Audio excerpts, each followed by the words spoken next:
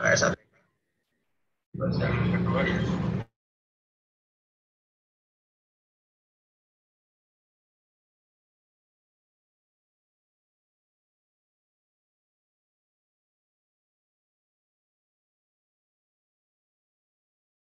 melaksanakan aktivitas pada pagi hari ini. Baik Bapak Ibu sekalian, eh, terima kasih eh, kami ucapkan yang pertama yang terhormat Bapak Asdep dari PAN RB yang sudah berkenan hadir dan nantinya akan memberikan eh, arahan bimbingan kepada kita yang menyangkut dengan manajemen kinerja dan SKP. Eh, mudah-mudahan eh, apa yang beliau sampaikan nanti sudah menjadi uh, uh, bimbingan dan kita sudah siap untuk uh, melaksanakan manajemen kinerja dan SKP-nya. Karena bagaimanapun di ya. Undang-Undang ASN kalau ini tidak dikerjakan tentu karena merupakan kewajiban tentu ada sanksi yang akan diberikan buat kita sebagai ASN sendiri. Baik Bapak Ibu sekalian, uh, kita buka aja acara pagi ini. Untuk itu kami mohon kesediaan Bapak Sesditjen Pengelolaan Ruang Laut untuk dapat uh, membuka dan sekaligus memberikan arahan uh, pada acara sosialisasi ini. Pada Pak Ses, kami persilakan Pak Ses. Baik, Assalamualaikum warahmatullahi wabarakatuh. Selamat pagi, salam sejahtera dan salam sehat buat kita semua. Yang terhormat Pak Asdep, um, Pak, para koordinator serta subkoordinator dan para tel eh, yang hadir pada hari ini. Pertama, saya mengucapkan terima kasih atas kehadiran Bapak Ibu menundangan kami pada hari ini dan ini merupakan salah satu bentuk yang uh, saya kira kontribusi penting dalam manajemen kinerja pegawai yang tadi sudah disampaikan oleh Pak Wirman sebagai amanat uh, Permenpan nomor 8 tahun 2021 yang merupakan turunan dari PP 30 tahun 2019 tentang penilaian kinerja pegawai negeri sipil.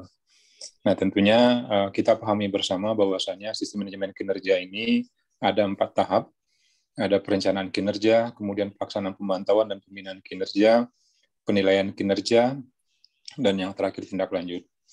Nah, Bapak Ibu yang terhormat, sesuai dengan amanat peraturan tersebut, memastikan uh, bahwa setiap pegawai memiliki peran, tugas, dan tanggung jawab yang jelas dalam pencapaian tujuan dan sasaran organisasi. Sehingga ini perlu dinilai tadi sudah disampaikan ada uh, manajemen sanksi juga nanti kalau kita di uh, kurang belum pas. Nah, um, kita wajib menyusunnya Bapak Ibu, semuanya wajib, saya, Bapak Ibu, dan semuanya wajib untuk membuat, dan itu dituangkan dalam SKP, sasaran kinerja pegawai, yang dilakukan uh, penilaian kinerja yang bertujuan untuk menjamin objektivitas pembinaan pegawai negeri sipil yang didasarkan pada sistem prestasi dan sistem karir. Nah, penilaian kinerja PNS tersebut dilakukan berdasarkan perencanaan kinerja pada tingkat individu dan tingkat unit kerja atau organisasi dengan memperhatikan target capaian, hasil, eh, kemudian manfaat yang dicapai, serta perilaku PNS.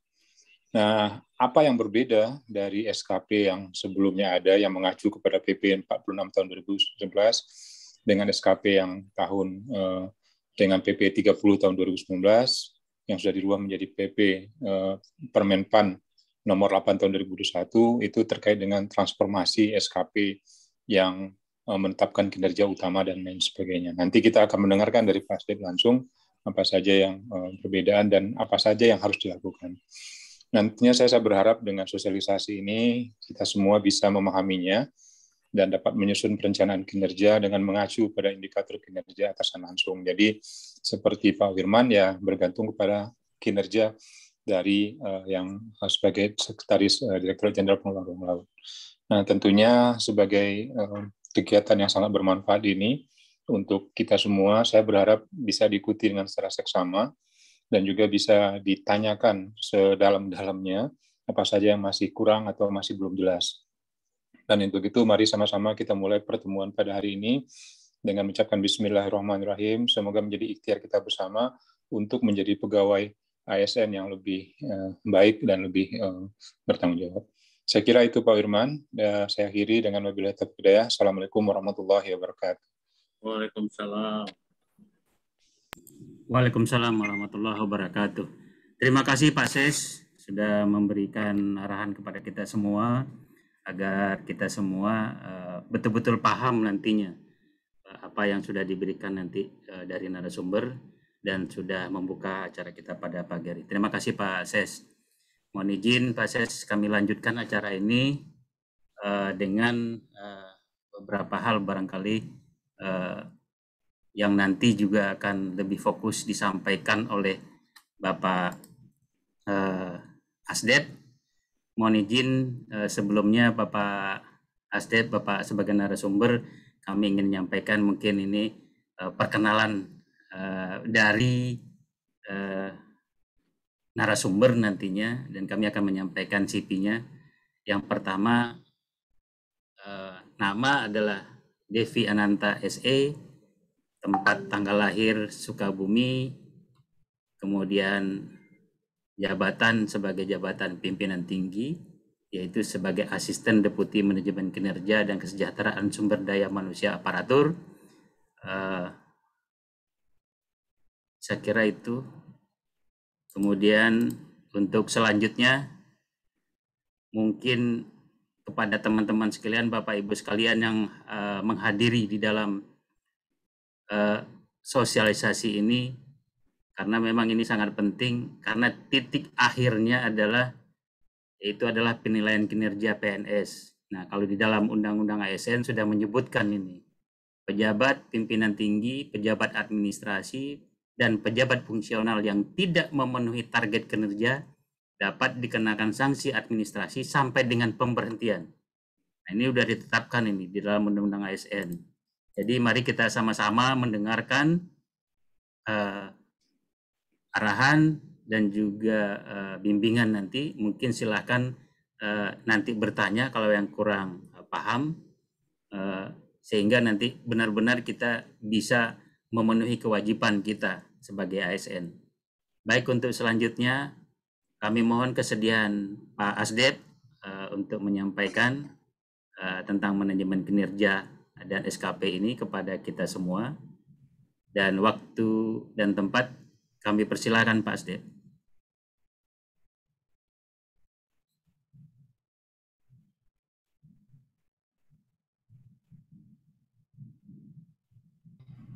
Ya, makasih Pak Gus, Gustia ya, Pak Gustia. Betul Pak, panggilannya Wirman aja Pak. Oh Pak Wirman ya. Iya. Izin Pak Ses Dijen Pak. Eh, kami lanjutkan. Tes dulu suara saya masih terdengar bagus ya? Bagus Pak. merdu Pak. Pak. Ya, kalau di layar sih notif notifikasi sih unstable gitu kan, makanya saya waduh, mudah-mudahan lancar ini. Uh, Pak Ses, Pak Gus, Pak Wirman dan seluruh tim yang hadir, saya lihat ini ada 200 26 ya berarti uh, unit di daerah ya ada juga ya Iya, iya Pak, Pak Asdep, mungkin dapat kami laporkan Pak, yang hadir adalah dari pusat dan unit uh, pelaksana teknis kita di daerah hadir pada saat ini. Iya, iya. Iya Pak. Semuanya Assalamualaikum warahmatullahi wabarakatuh. Waalaikumsalam warahmatullahi wabarakatuh. Salam warahmatullahi wabarakatuh. Salam sehat semuanya ya masih suasana PPKM ini kita lanjut lagi. Masih PPKM sampai 23 ya Pak Wirman ya 23 ya tanggal 23 Pak. Ya tapi kita tetap mudah-mudahan sehat semua teman-teman di pengelolaan laut ya Pak Wirman ya ini ya Pak Wirman ya. Betul Pak. Ya. betul tadi disampaikan Pak ses bahwa kita saat ini sudah memiliki uh, kebijakan baru ya PP-nya PP 30 tahun 2019 dan Permenpannya Permenpan 8 tahun 2021. Nah, PP 30 ini memang uh, rekan-rekan uh, ini PP yang PP baru lah ya 2019 itu. Ini masih masih tergolong baru uh, PP-nya dan tapi kalau kita mau kita runtut seperti dikatakan Pak Wirman, PP ini termasuk terlambat Pak Wirman. Gitu kan agak lambat lah ya. Jadi karena apa? Karena Undang-Undang 5 itu aja udah 2014. PP-nya 2019, 5 tahun gitu kan. Kemudian petunjuk pelaksananya Permenpannya 2021.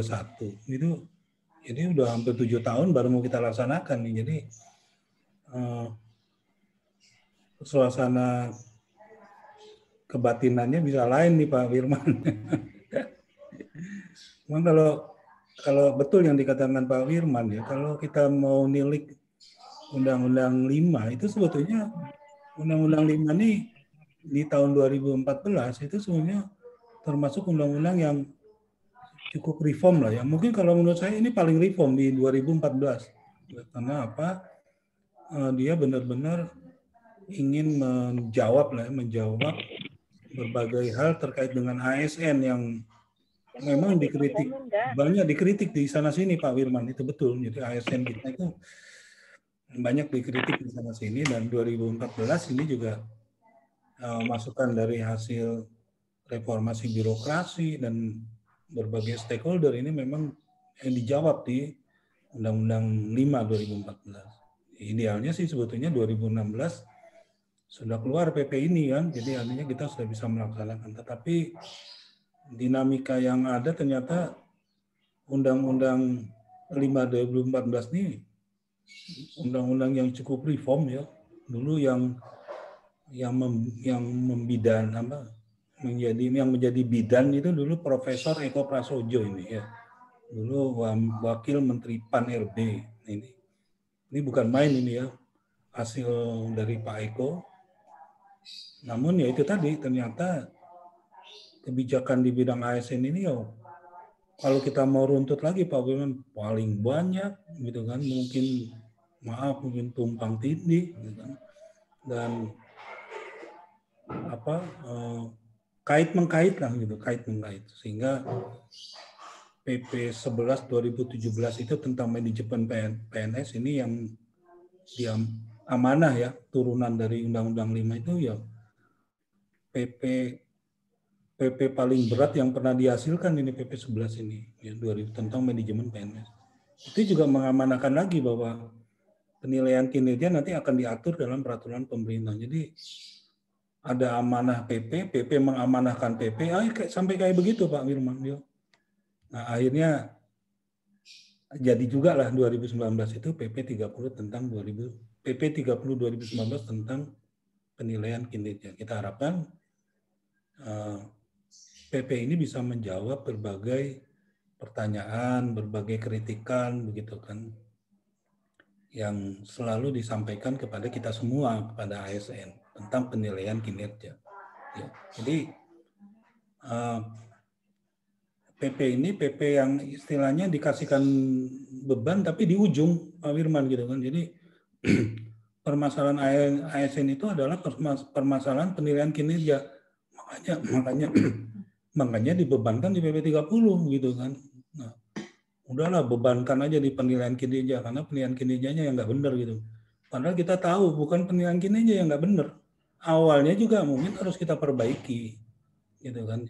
Jadi perencanaan kinerja kemudian pelaksanaan pembinaannya itu kan harus diperbaiki gitu. tetapi kenapa PP penilaian kinerja yang menjadi beban gitu kan? Ini juga harus kita sama-sama pahami kita pelajari. Jadi kawan-kawan tolong dibaca PP oh, 30 itu ya pelan-pelan tolong dibaca karena ini PP ini saya katakan tadi ya PP yang ingin mereform tentang penilaian kinerja. Ya.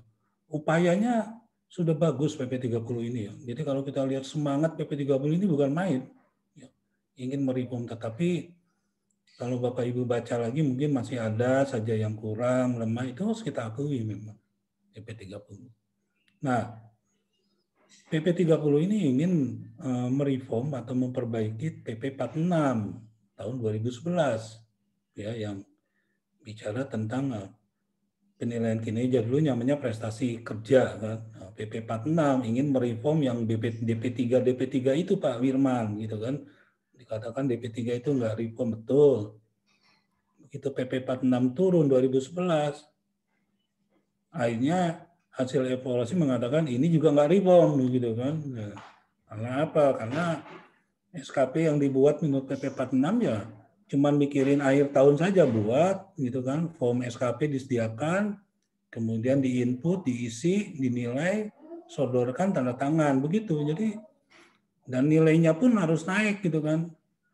Jadi PP 46 dengan SKP yang baru saat itu ya ternyata ini nggak jauh berbeda dengan DP3 ini. Mirip-mirip ini sebetulnya begitu kan. Jadi pertama eh, dia kesannya formalitas gitu kan. Jadi diisi gitu kan nilainya tiap tahun naik itu minimal harus baik ya.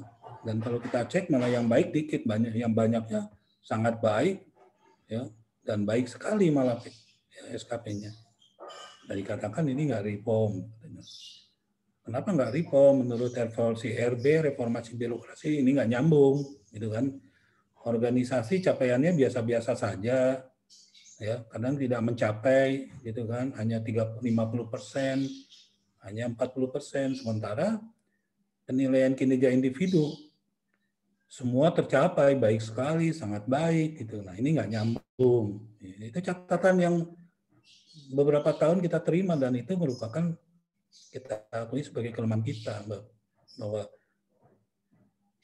capaian atau kinerja organisasi memang nggak nyambung dengan individu gitu kan karena apa? Karena kalau evaluasi reformasi yang dipegang kan ujungnya dokumennya. Ya dokumen yang ada ya cuma SKP itu kan. Kita buka SKP-nya, ternyata ya itu tadi ya nilainya baik sekali, sangat baik gitu kan. Dan naik semua tiap tahun yang tadinya 85 jadi 90, yang namanya 90, 95 terus begitu. Tiap tahun naik. Sementara capaian organisasi biasa-biasa saja. Nggak tercapai kadang-kadang begitu nggak jelas capaiannya nggak jelas ukurannya begitu kan. Nah ini menjadi kritikan-kritikan kita ya, ASN ya kita lagi yang ketiban gitu kan. Nggak bener lagi ASN-nya begitu kan.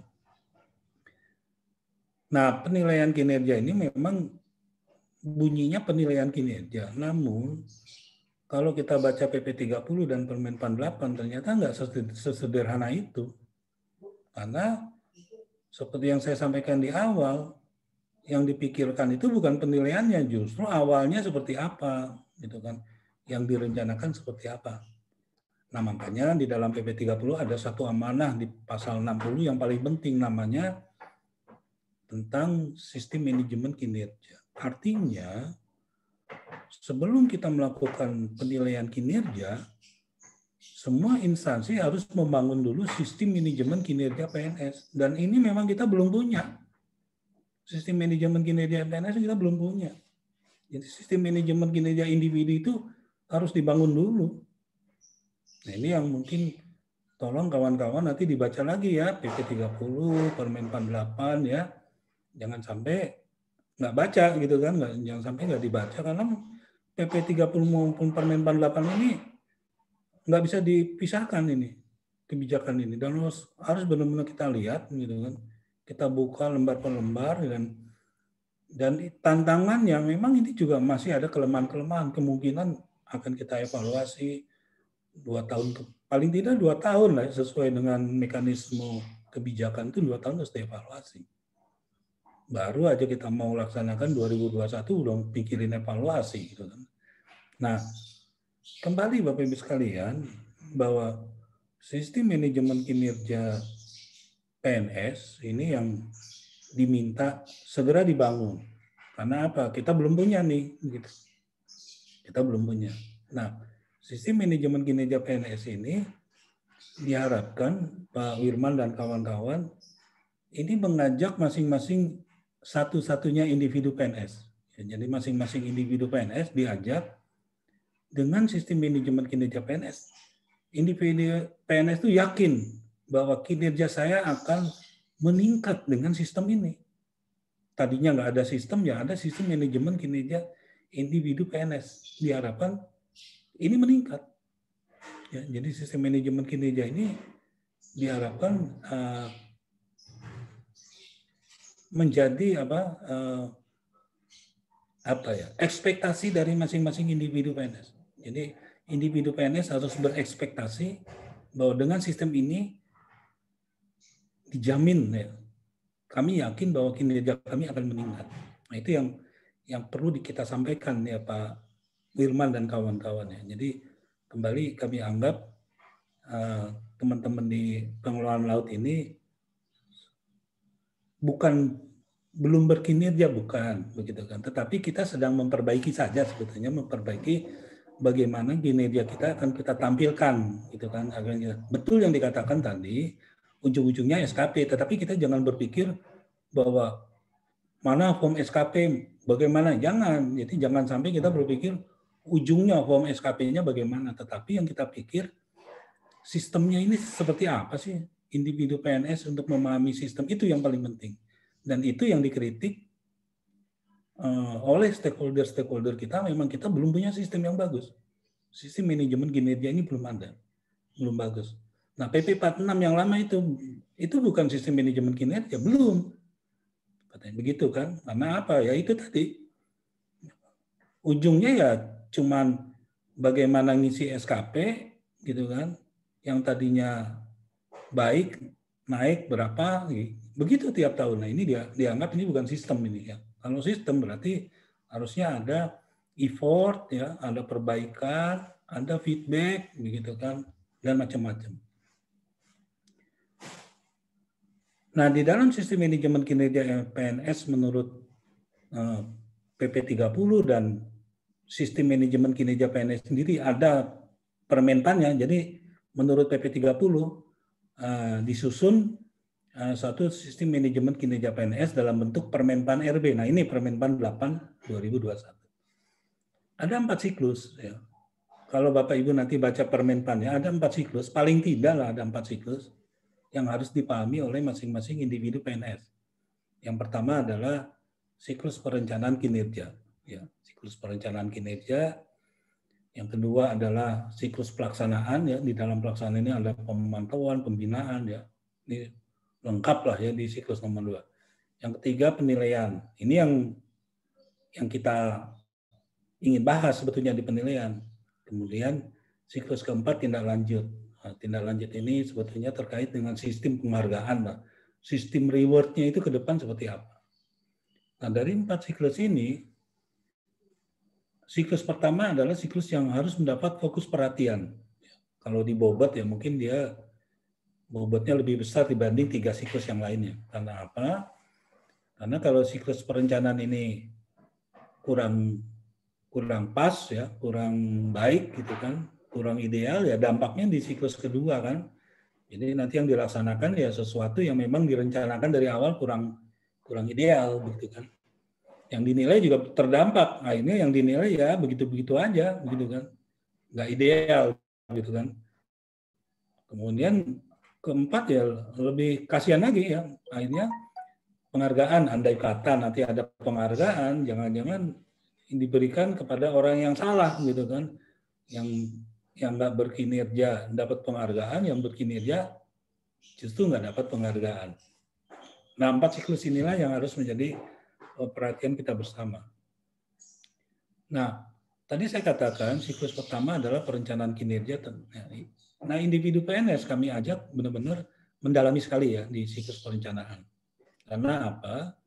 Karena di siklus perencanaan inilah sebetulnya eh, awal kita lah, awal kita, tantangan kita tuh sebetulnya di sini, ya, di perencanaan ini. Ya.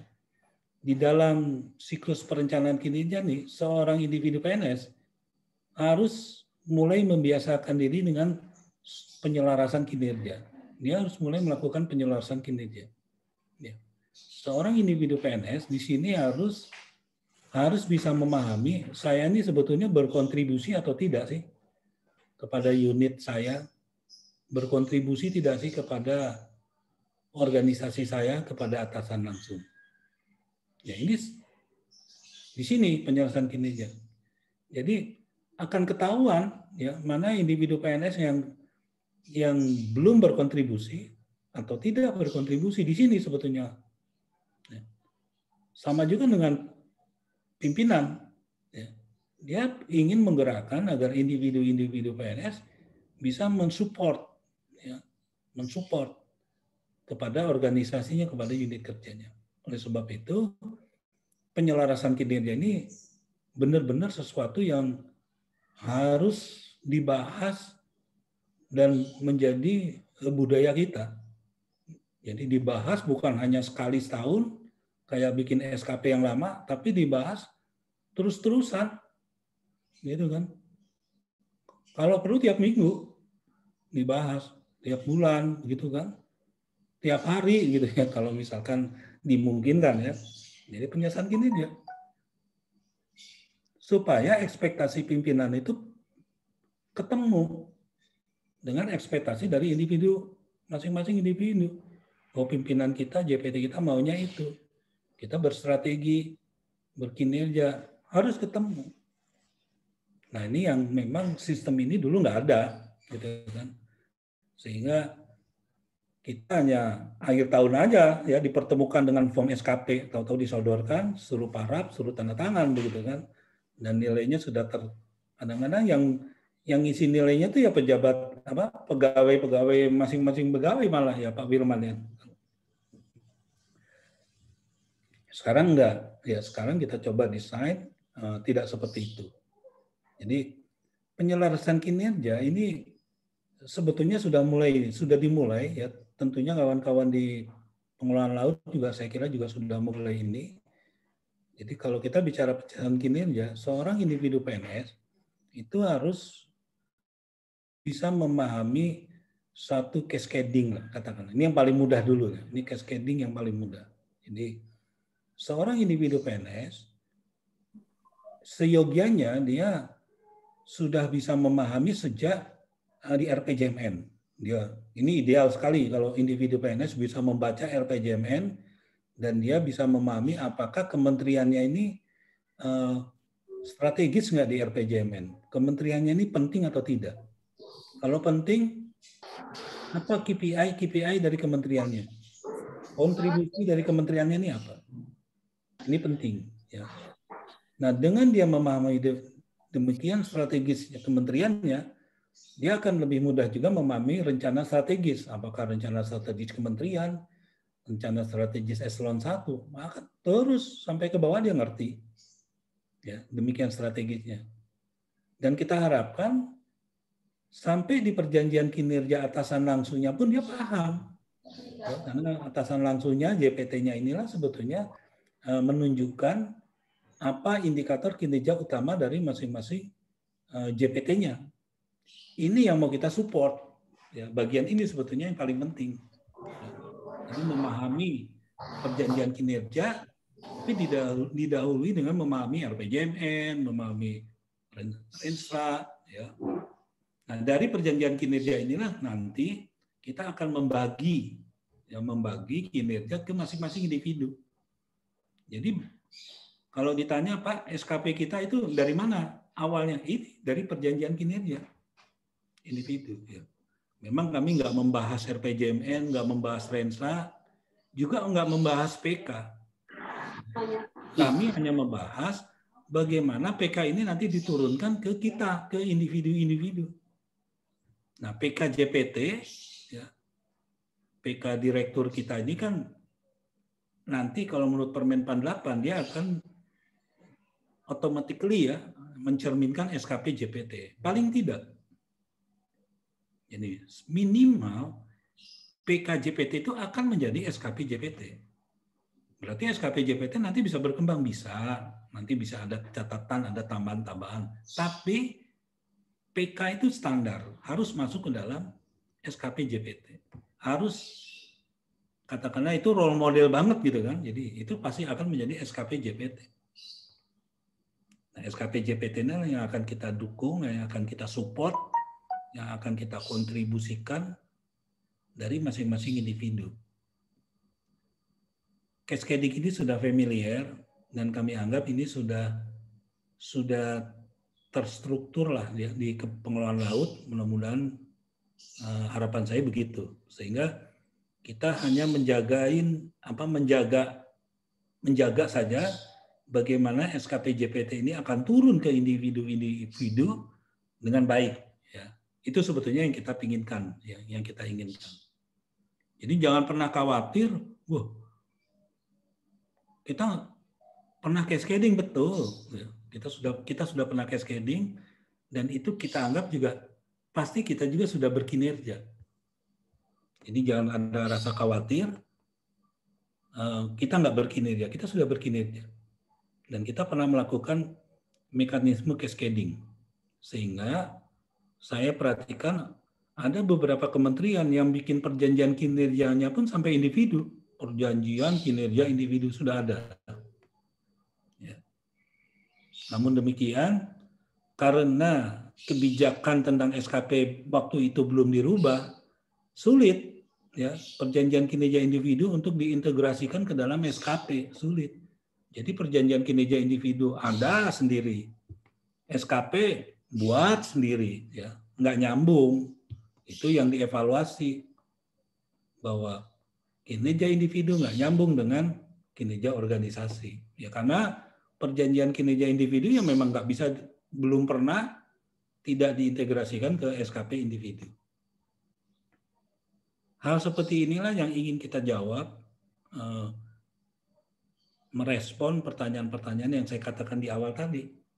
Bahwa ke depan kinerja individu pasti link, pasti dalam rangka mendukung unit kerja, mendukung organisasi, mendukung atasan langsung. Kita harus jawab itu. Sehingga paling tidak SKP-nya pun nanti pasti mendukung itu. Nah, di dalam PP 30 dan Permen 8, untuk melakukan cascading penyelesaian kinerja, kita diharapkan melakukan suatu dialog kinerja. Ya. Dialog kinerja ini sesuatu yang ditekankan sekali di dalam PP 30 dan Permen 8 kami. Jadi seorang pimpinan JPT harus bisa memimpin, ya, mengawal, menjaga dialog kinerja ini. Bagaimana dia menjelaskan kinerja organ, organisasi ya. Indikator kinerja organisasi indikator kinerja utama ya. Kemudian bagaimana IKU nanti akan dijawab direspon oleh individu-individu kita kita ini berarti nanti kita ketemu indikator kinerja individu nah, ini yang saya katakan bahwa penyelarasan kinerja ke depannya itu harus dilakukan melalui mekanisme dialog kinerja. Bagaimana masing-masing individu memahami bahwa saya ingin berkontribusi dengan baik, dengan tepat, nyambung, link dengan organisasi. Dialog kinerja. JPT Pratama lah paling tidak yang nanti akan memimpin dialog kinerja ini. Jadi penyelarasan penyelarasan kinerja kita jaga benar ini, ya siklus pertama tadi. Keberhasilan dari dialog kinerja menurut Permenpan 8 ya paling tidak nanti kita coba susun dalam suatu bentuk matriks namanya metrik peran hasil. Jadi dialog kinerja kita akan akan lakukan ya. Keberhasilan dialog kinerja ini adalah uh, dibuktikan ya. Kalau bahasa bahasa sehari-hari kita ya evidensnya apa pak? Nah inilah evidensnya matrik peran hasil lah begitu kan jadi ada matrik peran hasil. Jadi di dalam matrik peran hasil yang saya katakan tadi merupakan bukti keberhasilan dialog kinerja itu nanti ada uh, gambaran ekspektasi pimpinan. Ya, dialog kinerja ini adalah bentuk ekspektasi pimpinan tentunya kan, pimpinan memimpin uh, suatu dialog kinerja dan pasti yang tampil adalah isinya ya ekspektasi ekspektasi pimpinan. Nggak mungkin enggak. Awalnya pasti isinya ekspektasi pimpinan. Saya ingin ini, saya ingin cepat, saya ingin berkualitas. saya tidak ingin lelet, saya tidak ingin lama, itu semua pasti akan muncul di dalam dialog kinerja. Ya. Nah, dalam dialog kinerja inilah nanti akan bisa kita identifikasi ya. ya. Pertama tadi ekspektasi pimpinan, ya sudah bisa kita identifikasi maunya bapak ini apa. Ketemu kualitasnya seperti apa, kecepatannya seperti apa, itu udah pasti ketemu kan. Nah kemudian kita identifikasi pula peran masing-masing individu dan hasil dari masing-masing individu. Output dari masing-masing individu apa? Jadi nanti kalau kita baca metrik peran hasil nggak ada yang kelewatan tuh. Semua individu pasti kebagian peran, semua individu pasti kebagian hasil yang akan dicapai. Katakanlah output lah, kebagian output. Jadi nggak mungkin kayak yang SKP lama gitu kan. Eh, copy paste, maaf ya, copy paste ya sama semua isinya gitu kan. Nah sekarang enggak. Dia akan berbeda. Akan muncul ciri khas dari masing-masing individu. Harusnya begitu. Yang pasti ini mensupport atasan, mensupport unit, mensupport organisasi. Ini udah pasti. Ya. Kita akan respon pertanyaan reformasi birokrasi yang mengatakan nggak jelas, nggak nyambung antara individu dan organisasi. Akan terjawab, nyambung. Kami mensupport. Di dalam matrik peran hasil kelihatan skema dari organisasi ke individu akan terlihat. Nah, gambaran sederhananya adalah metrik Eh, dialog kinerja seperti ini Bapak Ibu sekalian. Ya.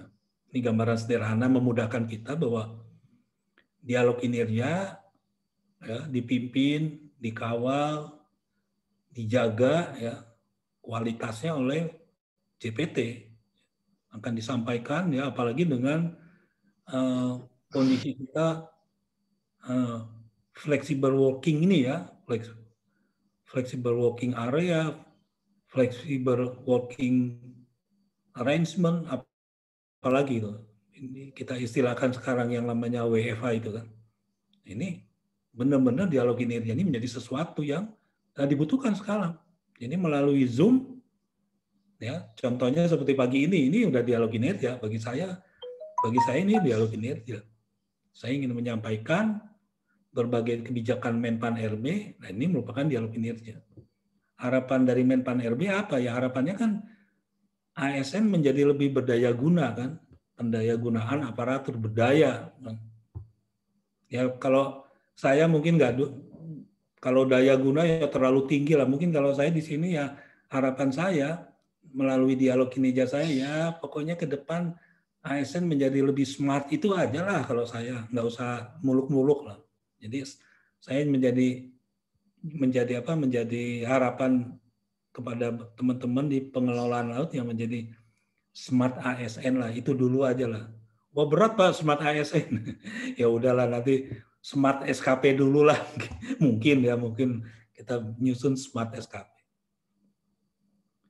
Nah, dialog kinerja inilah Bapak Ibu sekalian yang saya katakan ini akan menjadi satu budaya kerja ya, budaya yang akan dilakukan oleh kita semua ya. Akan kita akan berhari-hari ya berjam-jam uh, berdialog kinerja udah pasti ya. Dengan zoom ya zoom zoom itu adalah salah satu media dialog kinerja yang nggak kita pikirkan ya. Dulu itu zoom di apa ya walaupun kita apa fitur zoom itu sudah nempel di kita. Tapi ingat ya tahun 2020 hanya dalam waktu tiga bulan kita dipaksa untuk membiasakan diri dengan Zoom, membiasakan diri dengan apa IT ya, dengan eh, digital seperti ini ya. Nggak jangka ya. Kalau kalau kita lihat eh, RPJMN ya paling enggak dua tahun kalau melihat di RPJMN ya dari Bapenas itu paling enggak kita akan men, eh, mendesain eh, bekerja dengan basis IT. Ternyata eh, teman kita corona itu mengajak kita hanya tiga bulan kita suruh langsung berbasis IT gitu kan. hikmahnya ternyata bukan main bagi kita. Hari ini teman-teman pengelolaan laut ketemu dengan saya, dengan tim saya, ini udah bukan main bagi saya. Dan nggak ter, terbayang lah bahwa hanya beberapa menit saja kita bisa ketemu dan pertemuan ini sangat berkualitas. Kalau menurut saya nanti akan berkualitas, akan bagus. Ketimbang saya datang ke mana? Ke mana itu Merdeka Timur atau apa ya itu kalau KKP ini ya? Gambir. Merdeka Barat ya, Timur ya. Merdeka Timur kan? Timur ya Pak Firman ya? Ya Timur. Merdeka Timur ya, ketimbang saya ke tempat Pak Firman Merdeka Timur atau Pak Firman ke Senayan apa ke ke Sudirman ke kantor saya. Bisa kalau sebelum pandemi kan, tapi dengan adanya ini ya kita alhamdulillah bisa ketemu 200-an lebih Pak Firman dengan kawan-kawan timnya Pak Firman begitu kan kita bisa diskusi dan bisa dialog ini ini ya.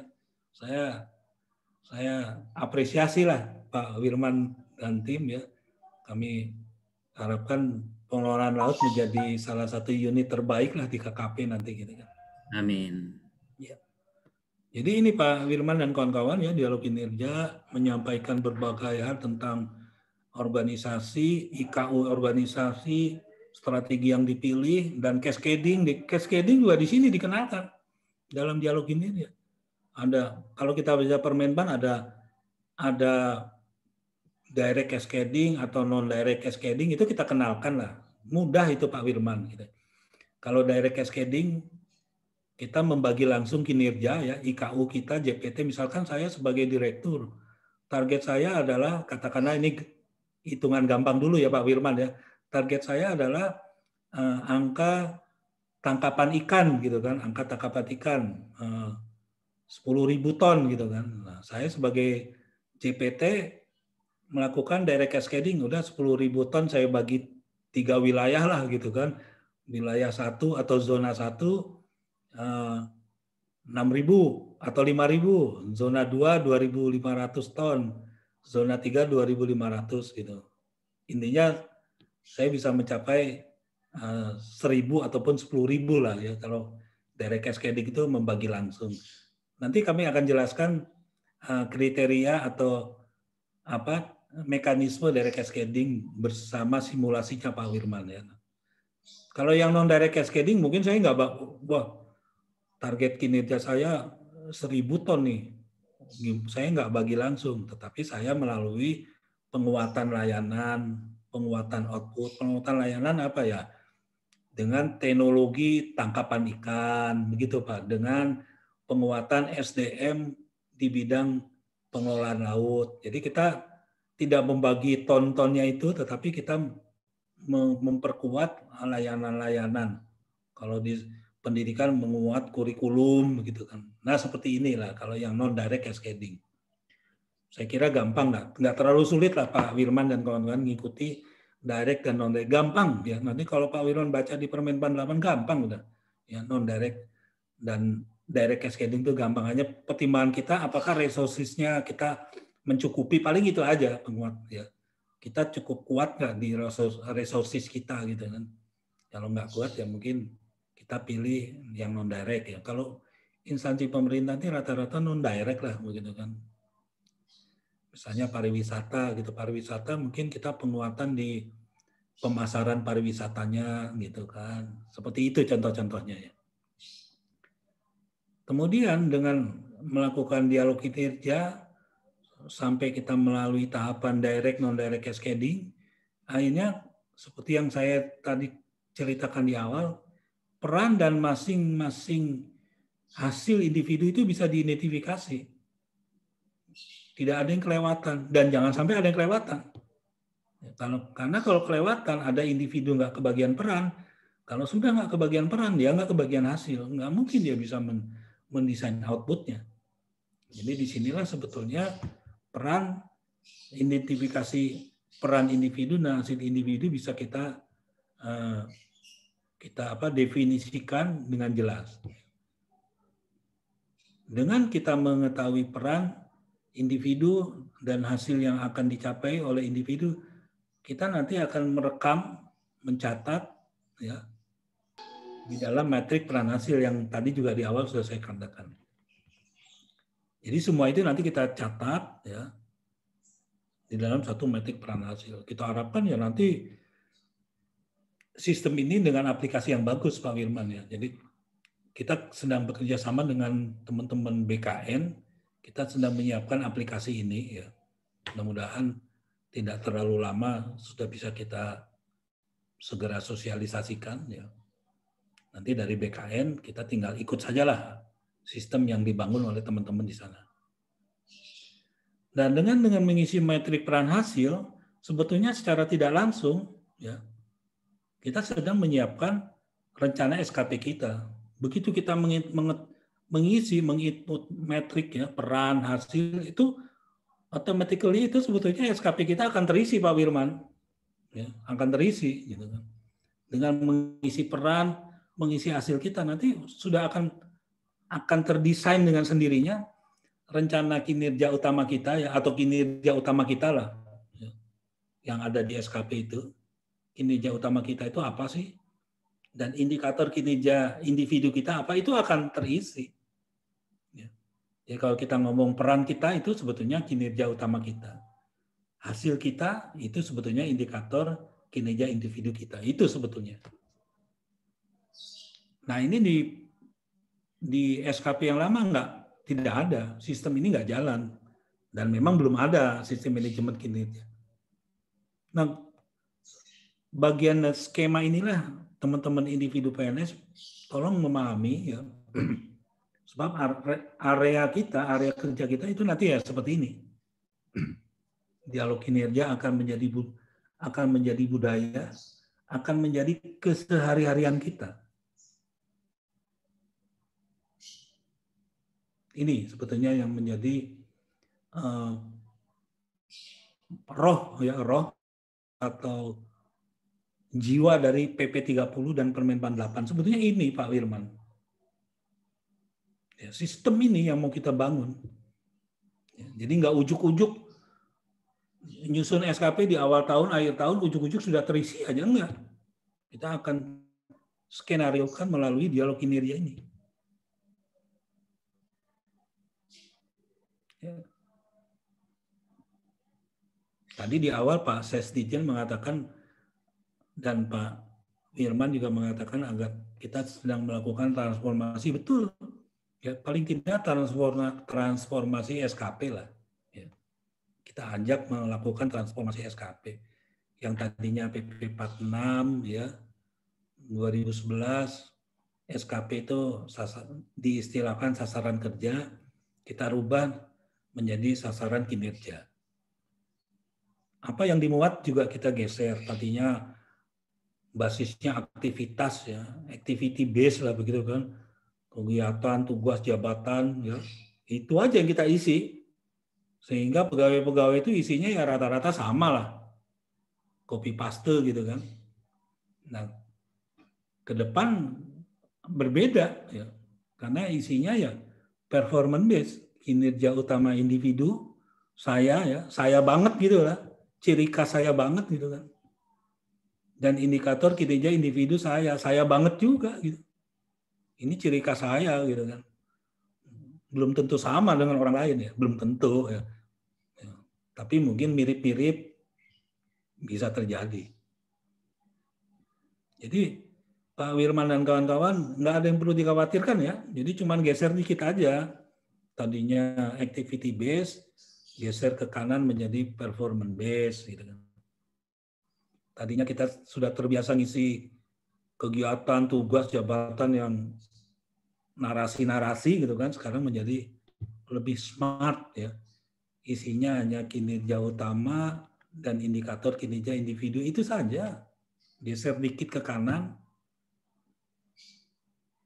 dan teman-teman pengelolaan laut nggak ada yang perlu dikhawatirkan. Wah, saya nggak berkinerja Pak. Berkinerja, cuman kita akan tampilkan eh, SKP kita menjadi lebih smart ya. Makanya saya katakan tadi kalau cita-cita kita smart ASN ya saya mah smart SKP dulu aja lah Pak Wirman nggak usah muluk-muluk ya.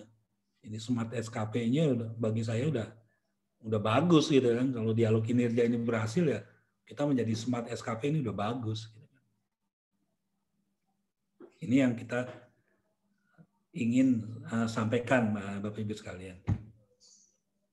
Nah, kalau sistem manajemen ini yang kita berpikir yang SKP dulu ya artinya oh begitu ya SKP. Saya yakin kawan-kawan yang 200 lebih ini 280 ini hadir oh yang dijelasin Pak Devi memang ngerti lah. Saya yakin ngerti semua lah. Saya saya nggak ada kekhawatiran, pasti ngerti. Sampai dengan slide ini pasti ngerti. Ngerti saya yakin. Teman-teman apa teman-teman KKP ya. Apalagi makanannya ikan laut terus Pak Firman jadi pasti gisinya lain lah. Omeganya lebih jago lah daripada orang menpan gitu kan.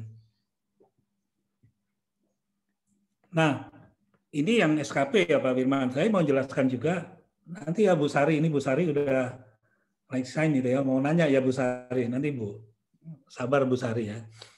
Uh, saya mau cerita dulu yang satu lagi. Kalau sistem ini berjalan Pak Firman, ada lima dampak ya, lima manfaat ya.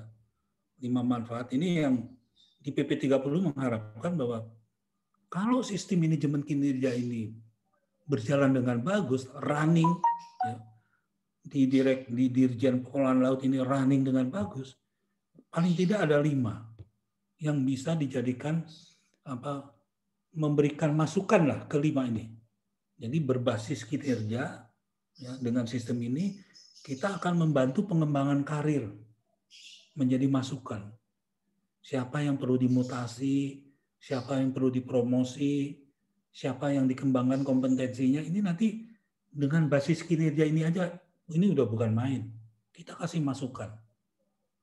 Pak, berdasarkan kinerja, ternyata yang bersangkutan itu lebih cocok bukan di sini. Kita mutasi aja. Ini contohnya misalkan. Ini JF pejabat fungsional ini cocoknya bukan di pengelolaan laut, Pak, tetapi cocoknya mungkin ini ke depan hampir seperti itu Pak Wisman. Kalau sistem ini bagus. Promosi apalagi kan, kinerjanya bagus ya nanti kita promosikan. Manajemen talenta, talent pool. Ya. Ini juga akan memberikan masukan bagaimana manajemen talenta nanti akan akan dilaksanakan, akan dikembangkan. Ini dari manajemen kinerja pegawai tunjangan kinerja. Nah ini yang paling seksi nih Pak Wirman nih.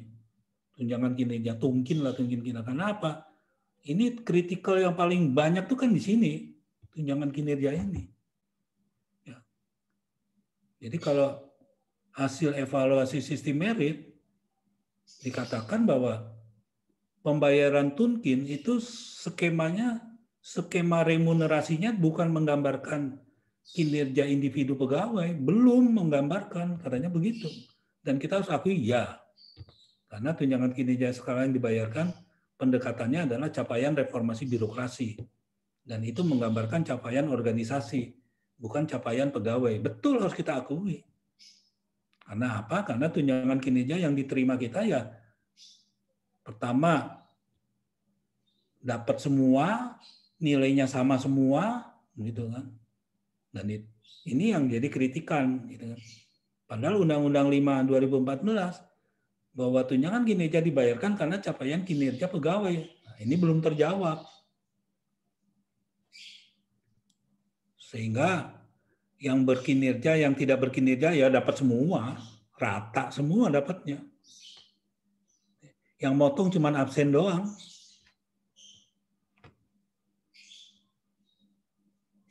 Nah, ke depan kami sedang nyusun juga kebijakan tentang reward, total reward. Ya, penghargaan bahwa tunjangan kinerja ini nanti akan dibalik dikembalikan kepada relnya. Ya, sehingga pegawai yang kinerjanya paling tinggi akan memperoleh lebih besar dibanding yang tidak berkinerja. Itu sedang kita siapkan kebijakannya. Kalau enggak, tunkin ini enggak ada bedanya dengan gaji diterima sama semua, pasti dapat semua gitu kan. Nggak ada bedanya, malah aneh gitu kan. Mungkin lebih besar dari gaji kan. Iya kan Pak Firman? Ya kan? Pak Firman ini kalau dihitung-hitung kan kalau gaji pokoknya Pak Firman ini ya kisarannya kan paling mentok aja nggak jauh-jauh dari berapa? 5 6 juta mungkin ya Pak ya? Mungkin gitu kan. Iya, sekitar gitulah, Pak. iya sementara tungkinnya tiga kali dari itu kan? Aneh gitu kan. Gitu kan. Padahal yang kita terima yang nggak ada bedanya. Jadi tungkin itu sama aja dengan gaji kita kan? Semua sama dapatnya sama gitu kan. Yang berkinerja tidak berkinerja sama gitu kan. Ya kan Pak Firman? Ini ke depan mau kita benahi makanya sistem manajemen kinerja ini nanti menjadi instrumen instrumen untuk bagaimana menghitung tunjangan kinerja Ya, jadi kalau Pak Wirman nanti buka-buka ya tunjangan kinerja ya ini nanti kalau di teorinya dia merupakan suatu motivational reward. Jadi tujuannya adalah tunjangan kinerja ini untuk memotivasi pegawai agar berkinerja lebih baik. Jadi namanya motivational reward. Kalau yang gaji itu namanya foundational reward. Udah pasti dapatnya segitu. Jadi gaji itu dibayarkan dengan nilai yang paling layak diterima. Namun motivational reward dibayarkan karena ada kinerja yang ditunjukkan. Jadi lebih baik, high performance, nanti dia akan mendapat reward lebih baik. Lebih besar lah ya. Jadi nanti ke depan memang nggak 2021 Pak Firman, mungkin juga nggak 2022. Tapi nanti ke depan pegawai yang memiliki high performance, dia akan mendapat tunjangan kinerja misalkan dia dapat 100%. Yang tidak berkinerja mungkin hanya 50%. Gitu kan. Nah 50% ini menjadi motivasi ya, menjadi alat memotivasi untuk memperbaiki. Itu yang paling penting. Sehingga kalau kita katakan salah satu salah satu bentuk sanksinya itu, jadi jangan jangan sanksi-sanksi disiplin, tetapi sanksinya ya pemberian motivational reward yang mungkin lebih lebih kecil ya. Jadi pegawai merasa bahwa saya kena sanksi tapi rupiahnya kecil. Bukan sanksi disiplin sanksi disiplin ringan, sanksi disiplin sedang nggak seperti itu ya, lain itu itu sanksi disiplin gitu kan. Kalau kita mungkin pendekatannya kinerja. Ini untuk sementara jangan mikirin sanksi-sanksi aja ya. Jadi kalau kalau bahasa deputi saya, jangan bahas-bahas sanksi ah. Kayak zaman kolonial aja mau memiliki sanksi. Ini sekarang zaman milenial. Jadi tantangan kita adalah uh, performance development, bagaimana mengembangkan, meningkatkan kinerja gitu kan. Jangan mikirin sanksi gitu kan. Yang keempat penghargaan itu juga saya katakan kita akan bangun sistem penghargaan uh, bagaimana uh, memberikan ada ASN anugerah ASN, ada ASN inspiratif itu di Menpan ya.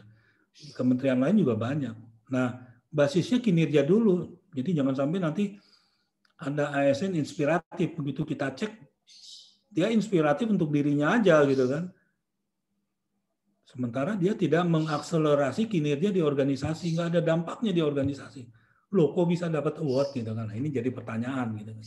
Jadi ke depan tuh ya ASN inspiratif itu harus didahului dengan dia mengakselerasi, menginspiratif organisasinya berkinerja lebih baik.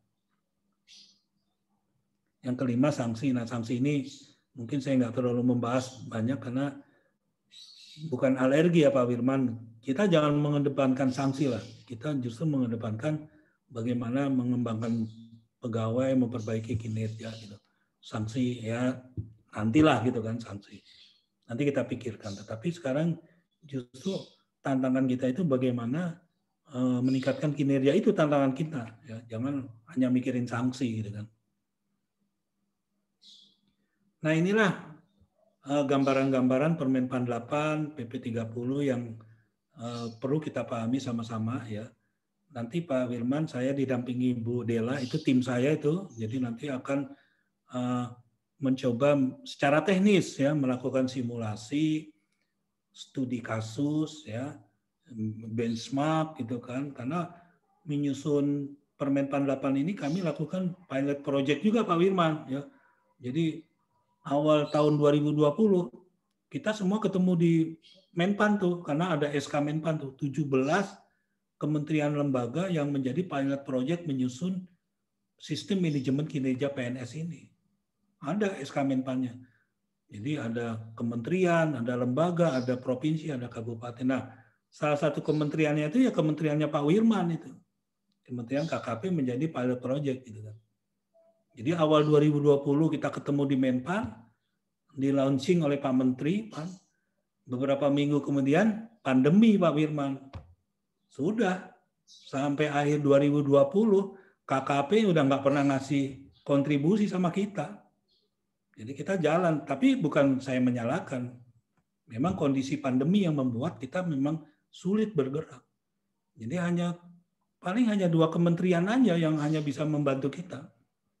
Jadi nanti waktu kita simulasi contoh-contoh, contoh KKP memang nggak ada karena memang KKP sama sekali nggak bantuin saya Pak Wirman gitu kan. Karena pandemi ini. Tapi nggak usah Pak Wirman laporin, udah saya laporin ke Pak Sekjen waktu itu saya diundang Pak Sek, Pak Irjen kalau nggak salah itu saya diundang saya sampaikan Pak Pak Karo SDM menyampaikan dia memang uh, kendala waktu itu. Ini Pak Wirman yang mungkin uh, gambaran dulu secara umum ya. Saya memberikan waktu 5-10 menit kalau ada pertanyaan silakan kita dialogkan ya, dialogkan kinerja, kita bahas gitu kan. Dan pesan saya, Pak Wirman dan kawan-kawan, jangan ada rasa khawatir. Apalagi khawatir nanti SKP-nya kayak gimana? Alah, itu form-form biasa. Kita, yang penting sistemnya ini, ya. Sistemnya kita kita pahami sama-sama. Oh, kalau sistemnya seperti itu, oke okay banget nih Pak Devi. Nah itu jawabannya saya inginnya kayak gitu Pak Firman. Kalau sistem manajemen kinerja kayak gitu, nih oke okay banget nih, kita enjoy banget. Nah itu. Jadi jangan sampai pertanyaannya ke saya, waduh Pak Devi, SKP-nya formnya kayak apa? Enggak, SKP mah gampang. Mau formnya kayak apa pun gampang. Ya. Mau isinya dua kolom, tiga kolom, gampang. Nanti sama Mbak Dela akan dijelaskan, oh ternyata gampang gitu. Cuman menjadi nggak gampang kalau kita mulainya tidak di dalam sistem. Ya, sistem manajemen kinerja ini. Silakan Pak Wirman, saya kembalikan. Mungkin ada pertanyaan-pertanyaan kepada saya sebelum nanti dilanjutkan secara teknis oleh Mbak Dela. Terima kasih. Baik, terima kasih Pak Asdep. Saya kira ini memang betul-betul pencerahan buat kami, khususnya di Direktorat Jenderal Pengelolaan Ruang Laut. Eh, apa yang disampaikan ini memang selama ini banyak di antara kami mungkin, mungkin hampir keseluruhan yang berpikir Uh, ya, yang seperti Pak Asdip sampaikan, SKP-nya gimana, cara pengisiannya dan seterusnya, kan gitu Pak. Apalagi setelah ada evaluasi dari teman-teman auditor yang ditanyakan persis itu aja gitu. Tapi sementara teman-teman yang lain termasuk saya barangkali Pak Asdip selama ini ya juga mengarahnya pemikirannya ke sana bagaimana mulai dari DP3 dulu ya Pak ya sampai sekarang bagaimana SKP ya itu saja yang berpikirnya jadi ya terfikir yang terfikirkan hanya itu aja. Bagaimana yang lainnya ya dengan apa yang disampaikan oleh Pak Asdep ini saya kira sesuatu yang luar biasa memberikan gambaran uh, bahwasanya inilah kinerja yang harus kita buat. Jadi mulai dari sistem manajemen kinerja PNS-nya, kemudian sistem manajemen kinerja individunya itu sendiri yang nantinya mempunyai refleksinya kepada sistem manajemen kinerja organisasi.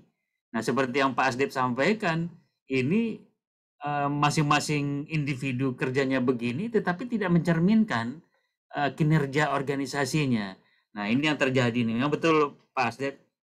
Saya kira pada kesempatan ini uh, banyak dari teman-teman juga ingin bertanya nih, Pak Asdet. Mungkin dengan waktu yang diberikan, uh, kami persilakan dulu kepada teman-teman yang lain. Di sini juga ada senior kami nih, Pak Asdet, ahli utama untuk pengelolaan uh, ruang laut, jabatan fungsional yang ada di Direktorat Jenderal kita ini Direktur Pengelolaan Ruang Laut. Jadi kita itu punya dua sekarang untuk jabatan fungsionalnya. Yang pertama adalah pengelola ekosistem laut dan pesisir. Yang kedua analis uh, uh, uh, pengusahaan pengusahaan jasa kelautan. Jasa kelautan. Jadi dua ini yang kita punya. Jadi untuk pertama barangkali eh, pertanyaan silahkan kepada Pak Agus Dermawan. Ya, Pak Firman. Terima kasih. Assalamualaikum warahmatullahi wabarakatuh. Salam sehat Pak Asdep, Pak Devi. Ya, mudah-mudahan Bapak dan senantiasa dalam keadaan sehat walafiat. Amin. Saya senang bisa mendapatkan eh, materi ini dan walaupun saya sempat juga beberapa hal atau beberapa kali ikut gitu ya, tapi sungguh apa yang disampaikan Bapak, Bapak bagaimana membangun pemahaman kita dulu lah. Bapak tadi sampaikan sanksi itu urusan belakang, tetapi kita sepakat dan sepaham dulu deh apa yang mau kita lakukan dan tujuan kita mau ke mana. Jadi itu yang saya menjadi saya menjadi menarik. Jadi intinya ada- adalah bahwa Pak Devi tadi mencoba memberikan bagaimana kita membangun pemahaman yang sama apa yang harus kita kerjakan di dalam mendukung pencapaian target-target kinerja organisasi kan gitu. Terus kan pertanyaan berikutnya saya mau sampaikan apa yang bisa kita lakukan kan gitu Pak ya. Jadi eh, saya menangkap satu hal yang eh, positif dan luar biasa dalam konteks bagaimana kita harus duduk bareng mau tidak mau dengan pimpinan kita dan tidak membedakan kita siapa sebenarnya. Jadi kalaulah di dalam konteks sekarang bahwa struktural kadang juga itu menjadi pemisah kita karena eh, si A adalah eh, kasubdit atau A si direktur, kaseksi dan itu menjadi menjadi eh, ya salah paling tidak menjadi satu sedikit akan membuat apa namanya merancukan tetapi kita harus duduk bareng karena setelah adanya perubahan organisasi hanya ada eselon 1, eselon 2 dan kemudian kita sama ke bawah dengan leveling eh, sesuai dengan jabatan fungsionalnya misalnya apakah umum atau tertentu kita punya peran yang sama di dalam berkontribusi bagi mencapai target organisasi. Tadi Pak eh, Pak Devi menyampaikan memang RPJMN kita turun renstra, nah maka kita berangkat dari perjanjian kinerja dan SKP jabatan eh, pejabat atau pimpinan kita ya. Kalau JPT misalnya barulah dijabarkan SKP-nya ini. Nah, yang memang menjadi kendala Pak Devi ini persoalan eh, indi, dialog dialog kinerja ini. Ini yang memang harus terbuka baik dari pihak pimpinan ini terutama dia harus bisa membuka bersama dengan semua orang. Jadi ini yang barangkali tantangannya biasanya kan hanya terbatas mungkin bicara ini dengan pada level-level tertentu. Apalagi kalau dalam konteks jabatan struktural, ya pasti direkturnya bicara dengan kasubit dan kepala seksi terbatas. Tapi mestinya ini kan dengan keterbukaan seperti ini, sebagai pimpinan pertama misalnya direktur, dia harus duduk bareng dengan terbuka, apalagi melalui Zoom seperti ini kan bisa terbuka. Jadi kita bisa duduk bareng untuk bisa berbagi peran hasil tadi sebenarnya dan kemudian itu kita tuliskan dalam materi kita masing-masing. Nah, barangkali kendala ini Pak Devi yang eh, dengan kesibukan pimpinan kita sekarang kadang-kadang mencari waktu yang tepat ya, yang bisa hadir.